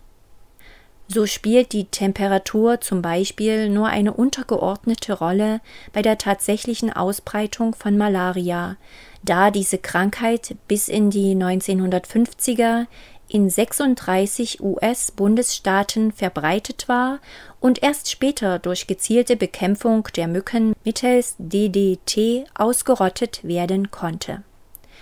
Auch in Europa ist eine erneute Ausbreitung der Malaria höchst unwahrscheinlich, da hier ein hoher medizinischer Standard herrscht und regelmäßig teilweise auch biologische Maßnahmen zur Bekämpfung von Stechmücken durchgeführt werden. Ärmere Länder, insbesondere jene West- und Zentralafrikas, werden von einer möglichen Malaria-Ausbreitung wesentlich stärker betroffen sein, weil sie sich keine Gegenmaßnahmen leisten können. Neben der reinen Temperaturerhöhung wird sich aber mit hoher Wahrscheinlichkeit auch die durch stärkere Regenfälle und das Abtauen von Permafrostregionen bedingte Zunahme von Feuchtgebieten speziell auf Stechmückenpopulationen auswirken. In Norddeutschland wurde die unter dem Namen Marschenfieber bekannte Malaria als Nebeneffekt der Trockenlegung der Marschen zwar effektiv eingeschränkt, die eigentliche Reduktion des Risikos besteht aber weiterhin in der gezielten Prophylaxe, speziell bei Reisenden in tropische Länder. Damit kann die Anzahl infizierter Hauptwirte höchstwahrscheinlich auch in Zukunft gering genug gehalten werden, um eine epidemische Ausbreitung zu verhindern, obwohl die Lebensräume der Überträger weiterhin vorhanden sind auch wenn Deutschland nicht zu den erklärten Risikogebieten für Malaria gehört, ist hier bei einer Erwärmung aufgrund frostärmerer Winter und feuchterer Sommer unter anderem mit einer Ausbreitung von Zeckenpopulationen zu rechnen, die wiederum ein erhöhtes Risiko für Borreliose und Frühsommer Meningoenzephalitis FSME mit sich bringen die Ausbreitung der Krankheiten selbst kann dabei sowohl durch vorbeugende Maßnahmen als auch eine Impfung gegen FSME eingeschränkt werden. Gegen Borreliose gibt es bisher keinen zugelassenen Impfstoff. Es wird erwartet, dass durch die globale Erwärmung sowohl die Zahl der Betroffenen als auch die Schwere der Heuschnupfensymptome stark zunehmen wird. Nach einer 2016 erschienenen Arbeit in Environmental Health Perspectives steigt demnach in Europa die Zahl der Betroffenen, die allergisch auf Pollen des beifußblättrigen Traubenkrautes reagieren, von derzeit 33 Millionen auf circa 77 Millionen, wobei die stärksten Zunahmen in Staaten wie Deutschland, Polen und Frankreich auftreten werden die Pollensaison verlängert sich zudem in weiten Teilen Europas bis September und Oktober. Eine 2021 publizierte Studie kam zu dem Ergebnis, dass der menschengemachte Klimawandel die Pollensaison bereits nennenswert verlängert und die Pollenkonzentration verstärkt hat Demnach verlängerte sich die Pollensaison in Nordamerika zwischen 1990 und 2018 um circa 20 Tage, wobei circa die Hälfte dieser Verlängerung auf die globale Erderwärmung zurückzuführen ist. Zudem verstärkte sich der Pollenflug um circa 21 Prozent, ein Effekt, der durch die Erderwärmung etwas verstärkt wird. Der Klimawandel und auch die steigenden CO2-Konzentrationen selbst beeinflussen regional und je Emissionsszenario sehr unterschiedlich die Landwirtschaft und Nahrungsmittelproduktion, den Zugang zu Nahrungsmitteln sowie deren Nährstoffgehalt mit Folgen für die menschliche Gesundheit. In einigen hohen Breiten wurden bislang positive Effekte beobachtet, Insgesamt überwogen auch schon 2014 die negativen Folgen. Nach einer Studie der Weltgesundheitsorganisation WHO starben schon 2002 jährlich mindestens 150.000 Menschen an den indirekten Folgen der globalen Erwärmung, zu denen die WHO Nahrungsmangel, Herz-Kreislauf-Erkrankungen, Durchfall, Malaria und andere Infektionen zählt die meisten Opfer sind in Entwicklungsländern zu beklagen. 4.2 Landwirtschaft ein den Menschen direkt betreffendes Problem der Verschiebung von Vegetationszonen sind Veränderungen der Erträge aus der Landwirtschaft. Die landwirtschaftliche Produktivität wird sowohl von einer Temperaturerhöhung als auch von einer Veränderung der Niederschläge betroffen sein. Zusätzlich ist von entscheidender Bedeutung, ob sich durch steigende Kohlenstoffdioxidkonzentrationen ein Düngungseffekt ergibt. Letztlich ist bezüglich der Auswirkungen maßgeblich, in welchem Umfang und zu welchen Kosten sich die Landwirtschaft anpasst und in Zukunft anpassen kann und anpassen wird, etwa durch Verwendung anderer vorhandener oder noch zu züchtender Pflanzensorten oder anderer Anbaupraktiken und mit welchen Begleiterscheinungen und Rückkoppelungen diese Anpassungsleistungen wiederum verbunden sind. Global ist, grob gesehen, mit einer Verbesserung der landwirtschaftlichen Möglichkeiten in den gemäßigten und kühleren Klimazonen und einer Verschlechterung in den tropischen und subtropischen Gebieten zu rechnen.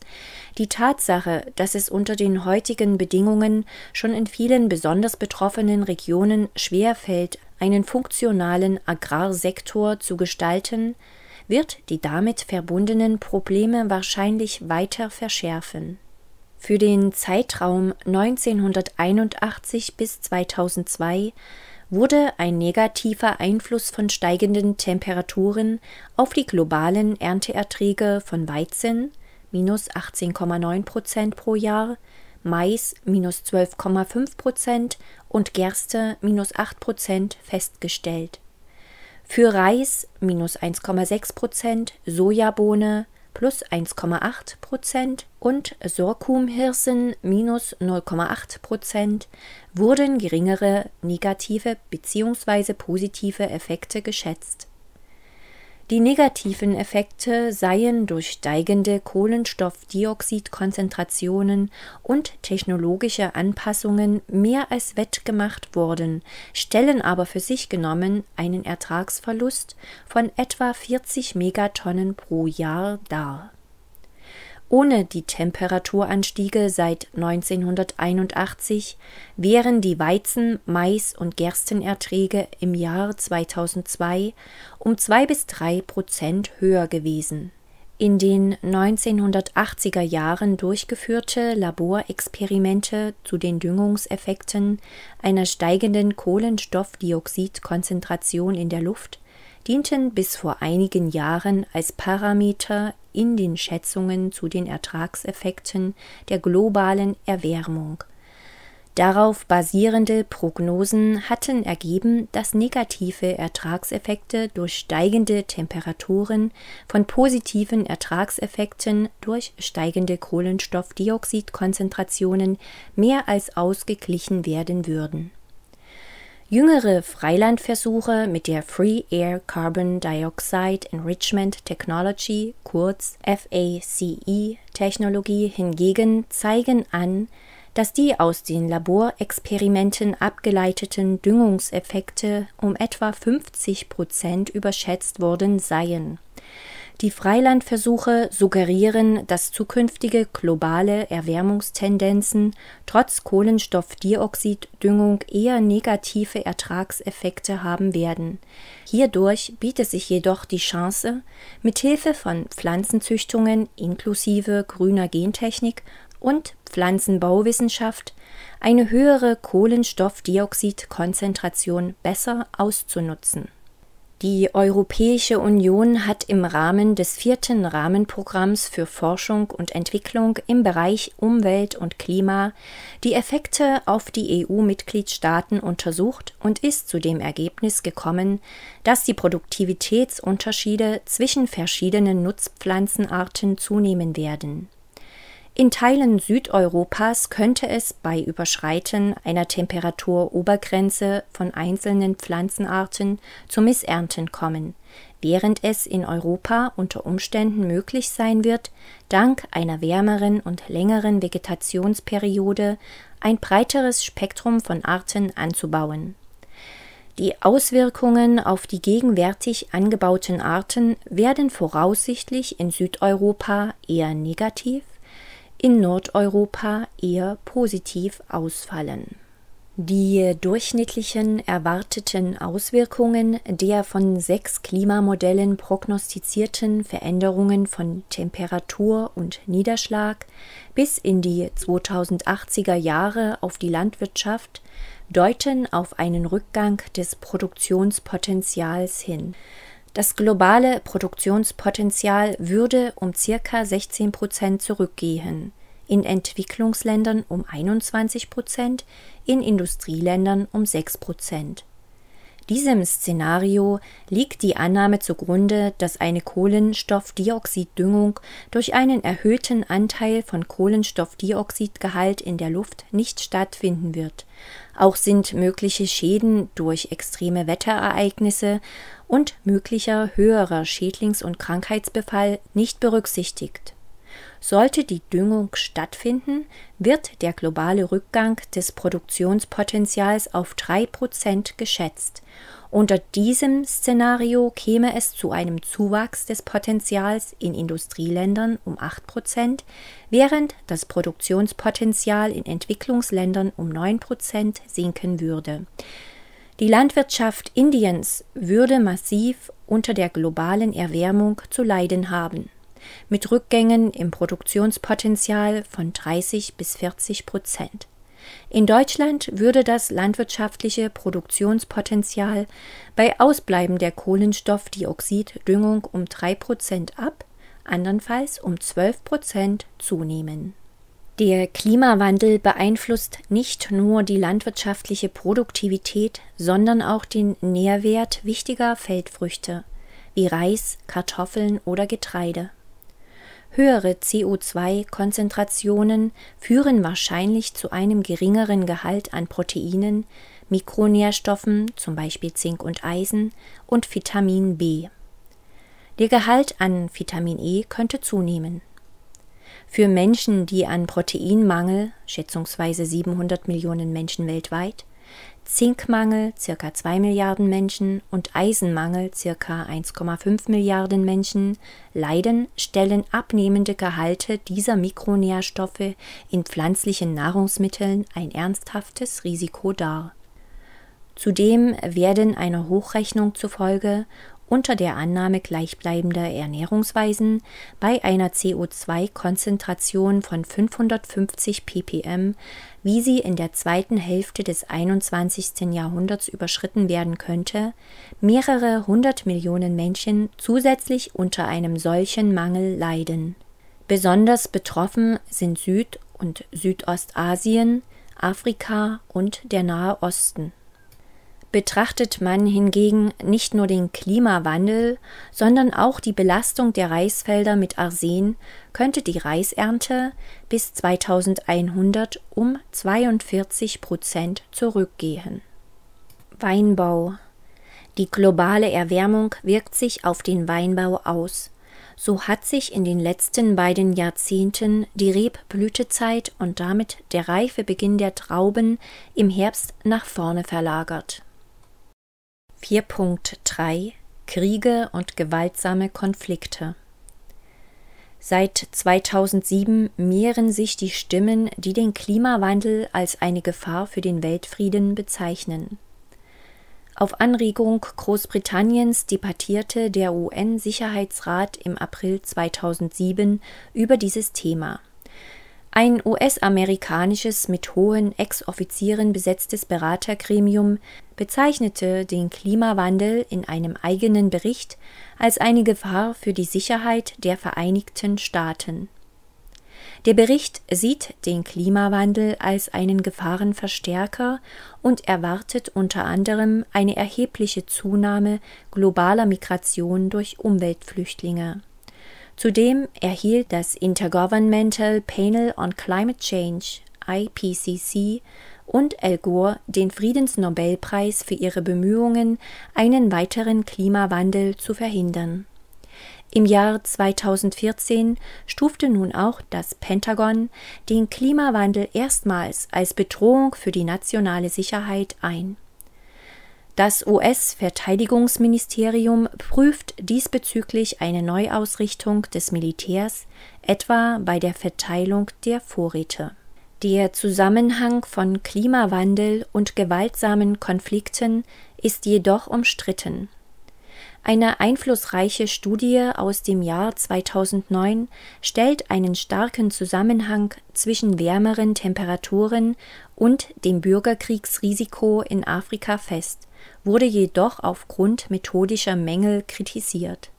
2013 proklamierte ein Autorenteam um Solomon Hisiang in Science erneut einen robusten Einfluss von Temperatur und Niederschlagsschwankungen auf verschiedene Formen von Gewalt, der sich jedoch bei Veränderungen der Forschungsdesigns als nicht robust erwies. Der Bürgerkrieg in Darfur ab 2003 und kommunale Gewaltkonflikte in Kenia werden ebenfalls mit einer klimawandelbedingten Zunahme von Dürren in Verbindung gebracht.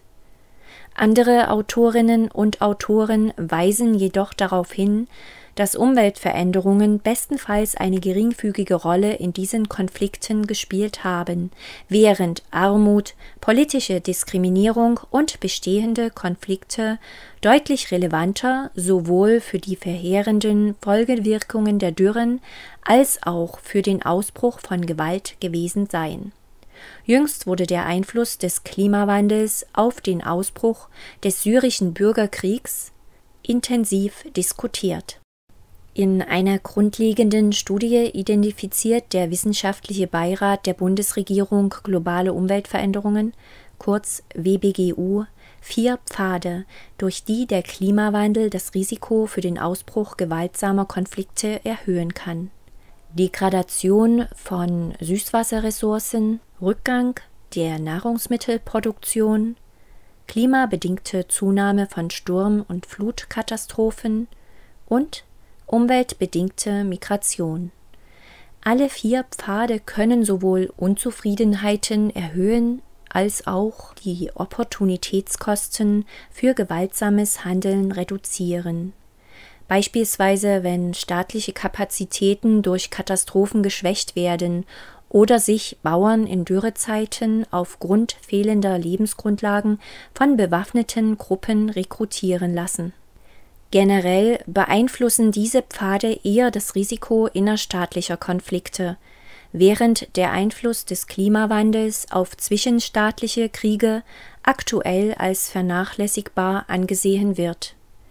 Jedoch wird nach Ansicht unter anderem des Klimaforschers Jochem Marotzke reiche Länder wie Deutschland der Klimawandel vor allem indirekt betreffen, etwa durch Instabilitäten im internationalen Raum.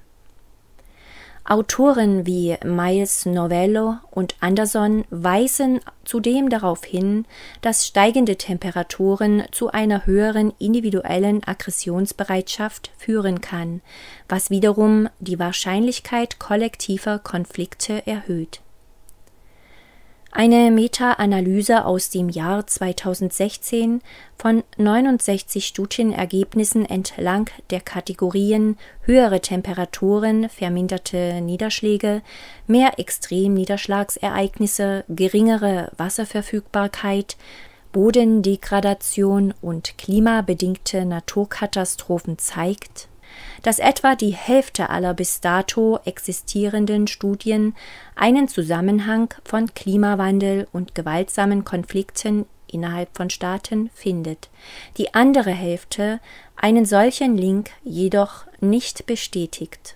Seitdem publizierte methodisch verbesserte Studien zeigen jedoch überwiegend, dass Klimaveränderungen wie beispielsweise stärkere Dürren das Risiko gewaltsamer Konflikte erhöhen, auch wenn sie nicht der wichtigste Treiber dieser Konflikte sind. Ein solcher Klimakonfliktzusammenhang kann jedoch nur auftreten, wenn bestimmte Kontextfaktoren wie ethnische Diskriminierung oder fehlende Infrastruktur vorliegen ein Ende 2017 veröffentlichter Review der bestehenden Literatur bestätigt diesen Befund weitgehend. Die Forschung zum Einfluss des Klimawandels auf gewaltsame Konflikte ist dennoch nach wie vor nicht frei von Kritik. Fünf Argumente sind in diesem Zusammenhang erwähnenswert.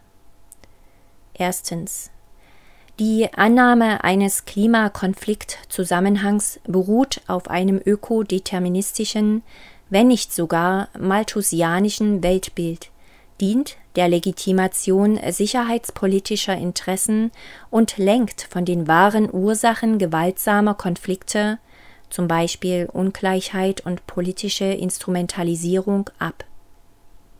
Zweitens die Ergebnisse statistischer Studien beruhen auf problematischen Modellen und lückenhaften Datensätzen. Drittens. Einzelfallstudien sind wenig geeignet, Aussagen über einen Einfluss klimabedingter Veränderungen und Konfliktdynamiken über den analysierten Fall hinaus zu treffen Viertens. Die Forschung betrachtet überwiegend den Einfluss vergangener Umweltveränderungen.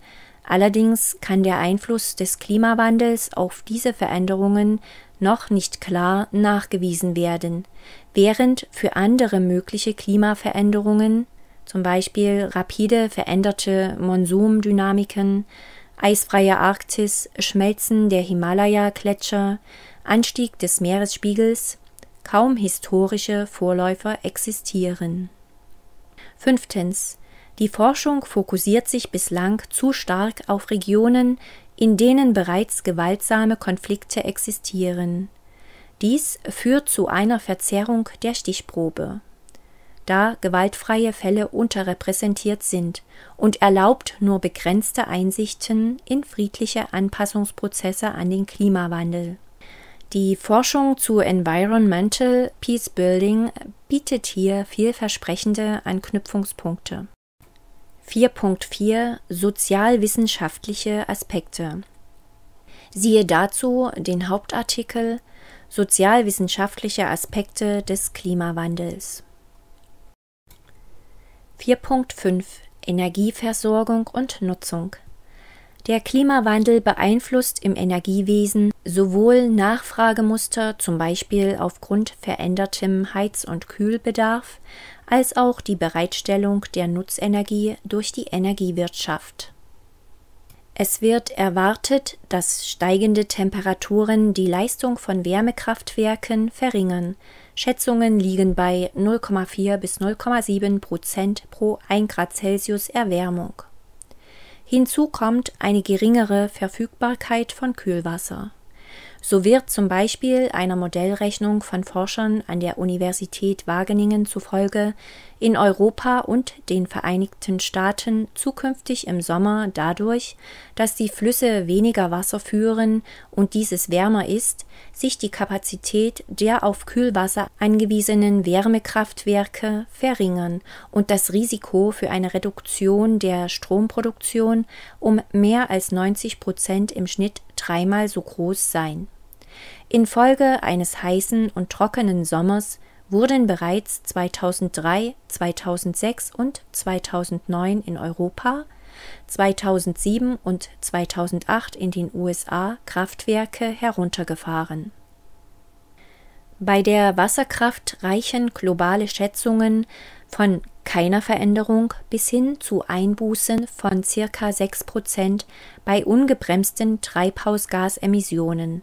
Regional könnte vor allem in hohen Breiten 5 bis 20 Prozent mehr Energie gewonnen werden.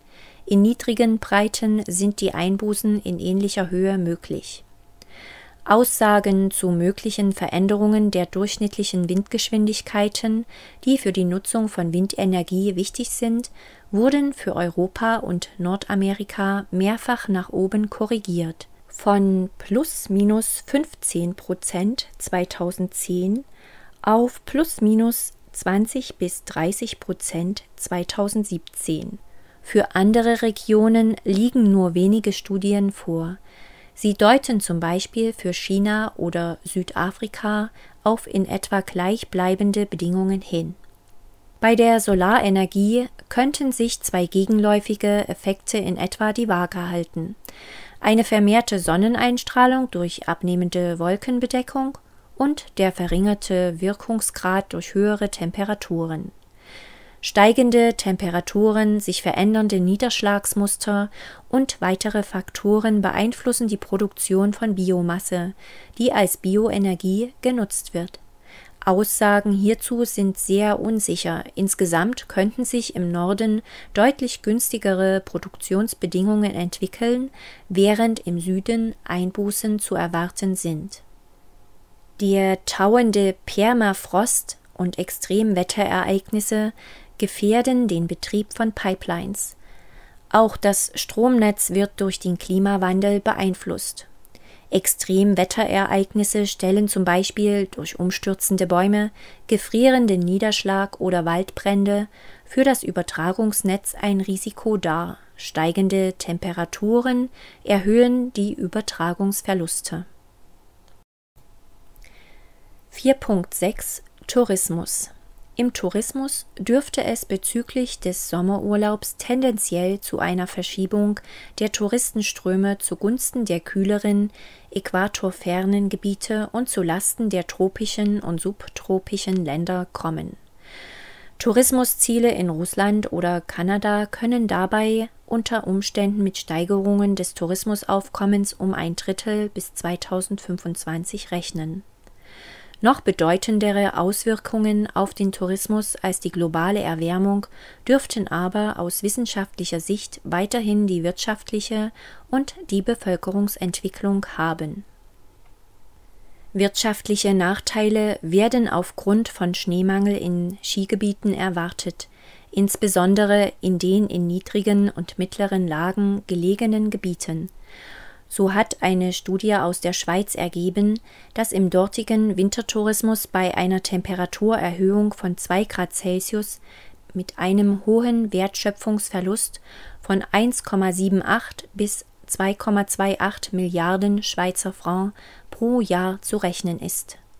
Zum Vergleich, derzeit beträgt die Bruttowertschöpfung des Wintersports in der Schweiz ca. 5,3 Milliarden Schweizer Franc pro Jahr also circa 3,4 Milliarden Euro. Besonders stark werden die Voralpen und der Kanton Jura betroffen sein. Gesamtschweizerisch liegt laut interpretierter Daten von Marty und anderen aus dem Jahr 2017 bis ins Jahr 2060 ein Fünftel aller Schweizer Liftanlagen des Jahres 2018 in Bereichen, in denen ab Mitte des Jahrhunderts nur in Ausnahmefällen genügend Schnee für einen Betrieb läge.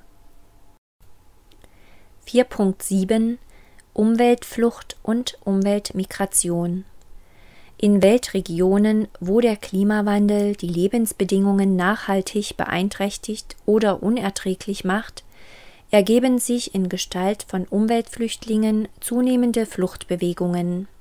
Dies ist vor allem in der dritten Welt zu erwarten, wo angestammte Lebensräume und lebenswichtige Ressourcen wie Trinkwasser einerseits, zum Beispiel durch die global steigenden Meeresspiegel, Bangladesch, Carteret-Inseln, Fidschi und Marshallinseln, Kiribati, Shishmarev und andererseits zum Beispiel durch zunehmende Wasserknappheit in semiariden Regionen beeinträchtigt sind bzw. verloren gehen. Da in den betroffenen Regionen oft erschwerend ein überdurchschnittliches Bevölkerungswachstum hinzukommt und die Migrationsmotive oft nicht eindeutig bestimmbar sind, stellt die präzise quantitative Erfassung von Migrantenzahlen im Zusammenhang mit der globalen Erwärmung wohl bis auf weiteres ein unlösbares methodisches Problem dar. In einer Studie aus dem Jahr 2020 projizieren Forscher, dass ohne Maßnahmen zum Klimaschutz oder untragbar hoher Emigrationsraten in verschiedenen Szenarien des Bevölkerungswachstums ein Drittel der Menschen weltweit innerhalb der nächsten 50 Jahren eine jährliche Durchschnittstemperatur von mehr als 29 Grad Celsius erleben würden. Diese findet man derzeit nur auf 0,8 Prozent der Erdoberfläche vor, vor allem in der Sahara. Die am stärksten betroffenen Gebiete gehören zu den ärmsten der Welt und haben derzeit eine geringe Anpassungskapazität. 4.8 Versicherungsschäden ein im November 2006 herausgegebener Bericht der Finance Initiative des United Nations Environment Programme UNEP gab an, dass sich die Versicherungsschäden gegenwärtig alle zwölf Jahre verdoppeln. Hält dieser Trend an, rechnet das UNEP mit dem Erreichen einer jährlichen Schadenssumme von über einer Billion Dollar in drei bis vier Jahrzehnten. Wie die World Meteorological Organization WMO jedoch klarstellt, liegt die zunehmende Auswirkung von tropischen Wirbelstürmen in jüngerer Zeit in erster Linie an der wachsenden Konzentration von Bevölkerung und Infrastruktur in Küstenregionen. Im Jahr 1930 wohnten in allen 109 US-Countys an Golf- und Atlantikküste von Texas bis Virginia weniger Menschen als heute allein in Miami wohnen. Zudem führte der gestiegene allgemeine Wohlstand zu aufwendigeren und wertvolleren Häusern, weshalb die Summe der durch Hurrikans angerichteten Schäden jährlich steigt. Relativiert man jedoch den Wohlstandszuwachs innerhalb des letzten Jahrhunderts, zeigt sich, dass etliche Hurrikans einen vielfach größeren Schaden angerichtet hätten, wenn sie bei heutigem Wohlstand auf die US-amerikanischen Küsten getroffen wären.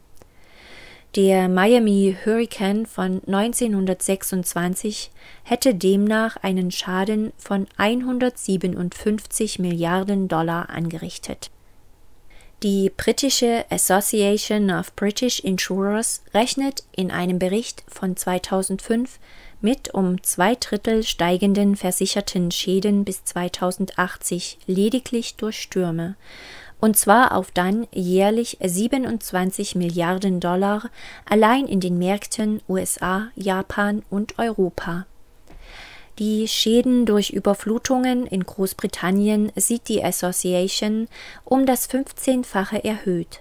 Die Berechnungen gelten alle für ansonsten unveränderte sozioökonomische Bedingungen, beziehen also weder Aspekte der Bevölkerungsentwicklung noch den in der jüngeren Vergangenheit beobachtbaren Trend zur Ansiedlung in attraktiven, aber besonders verwundbaren Küstenregionen zu einer ähnlichen Prognose kommt ein Bericht der amerikanischen Versicherer, laut dem sich die Versicherungsschäden durch Hurrikans alle zehn Jahre verdoppeln werden, weil die Baukosten wie auch die Zahl der Gebäude zunehmen und sich die Art der Ausführung ändert nach Angaben der Münchener Rückversicherungsgesellschaft besteht ein deutlich erkennbarer Trend hin zu schwereren und kostspieligeren Naturkatastrophen. Der Zusammenhang zwischen diesen und dem globalen Klimawandel ist keineswegs eindeutig, da neben Überschwemmungen und Sturmschäden auch Ereignisse wie Tsunamis oder Erdbeben mitgezählt werden Dennoch erhöht nach Auffassung der Forscher des Potsdam Institut für Klimafolgeforschung eine steigende Erdtemperatur die Wahrscheinlichkeit für wetterbedingte katastrophale Ereignisse. Im Versicherungswesen ergeben sich daraus steigende Kosten für die Versicherungsnehmer oder in besonders gefährdeten Gebieten die Weigerung der Rückversicherer angesichts unkalkulierbar werdender Kosten überhaupt Versicherungspolicen anzubieten. Im Jahr 2008 beliefen sich die Schäden aus Naturkatastrophen auf einem Rekordniveau von 200 Milliarden US-Dollar und 220.000 Toten.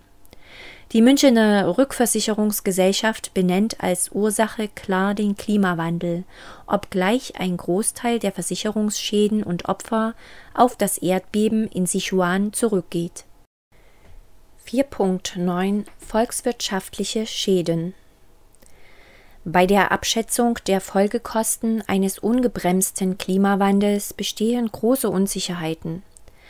Das Deutsche Institut für Wirtschaftsforschung DIW schätzt dennoch, dass bis zum Jahr 2050 Schäden von bis zu 200 Billionen US-Dollar auftreten könnten der von der britischen Regierung in Auftrag gegebene Stern Report hält fest, dass die Gesamtkosten und Risiken, die sich aus dem Klimawandel ergeben, heute und auf Dauer einer Einbuße in Höhe von 5 Prozent des Weltbruttosozialprodukts entsprechen, möglicherweise sogar bis zu 20 Prozent was in etwa den Folgen der Weltwirtschaftskrise der 1930er Jahre entspräche Kritiker wie der Ökonom Richard Tohl halten diese Zahlen jedoch für weit übertrieben, da Stern willkürlich jene Studien in seinem Bericht zusammenzähle, die die dramatischsten Auswirkungen prognostizieren.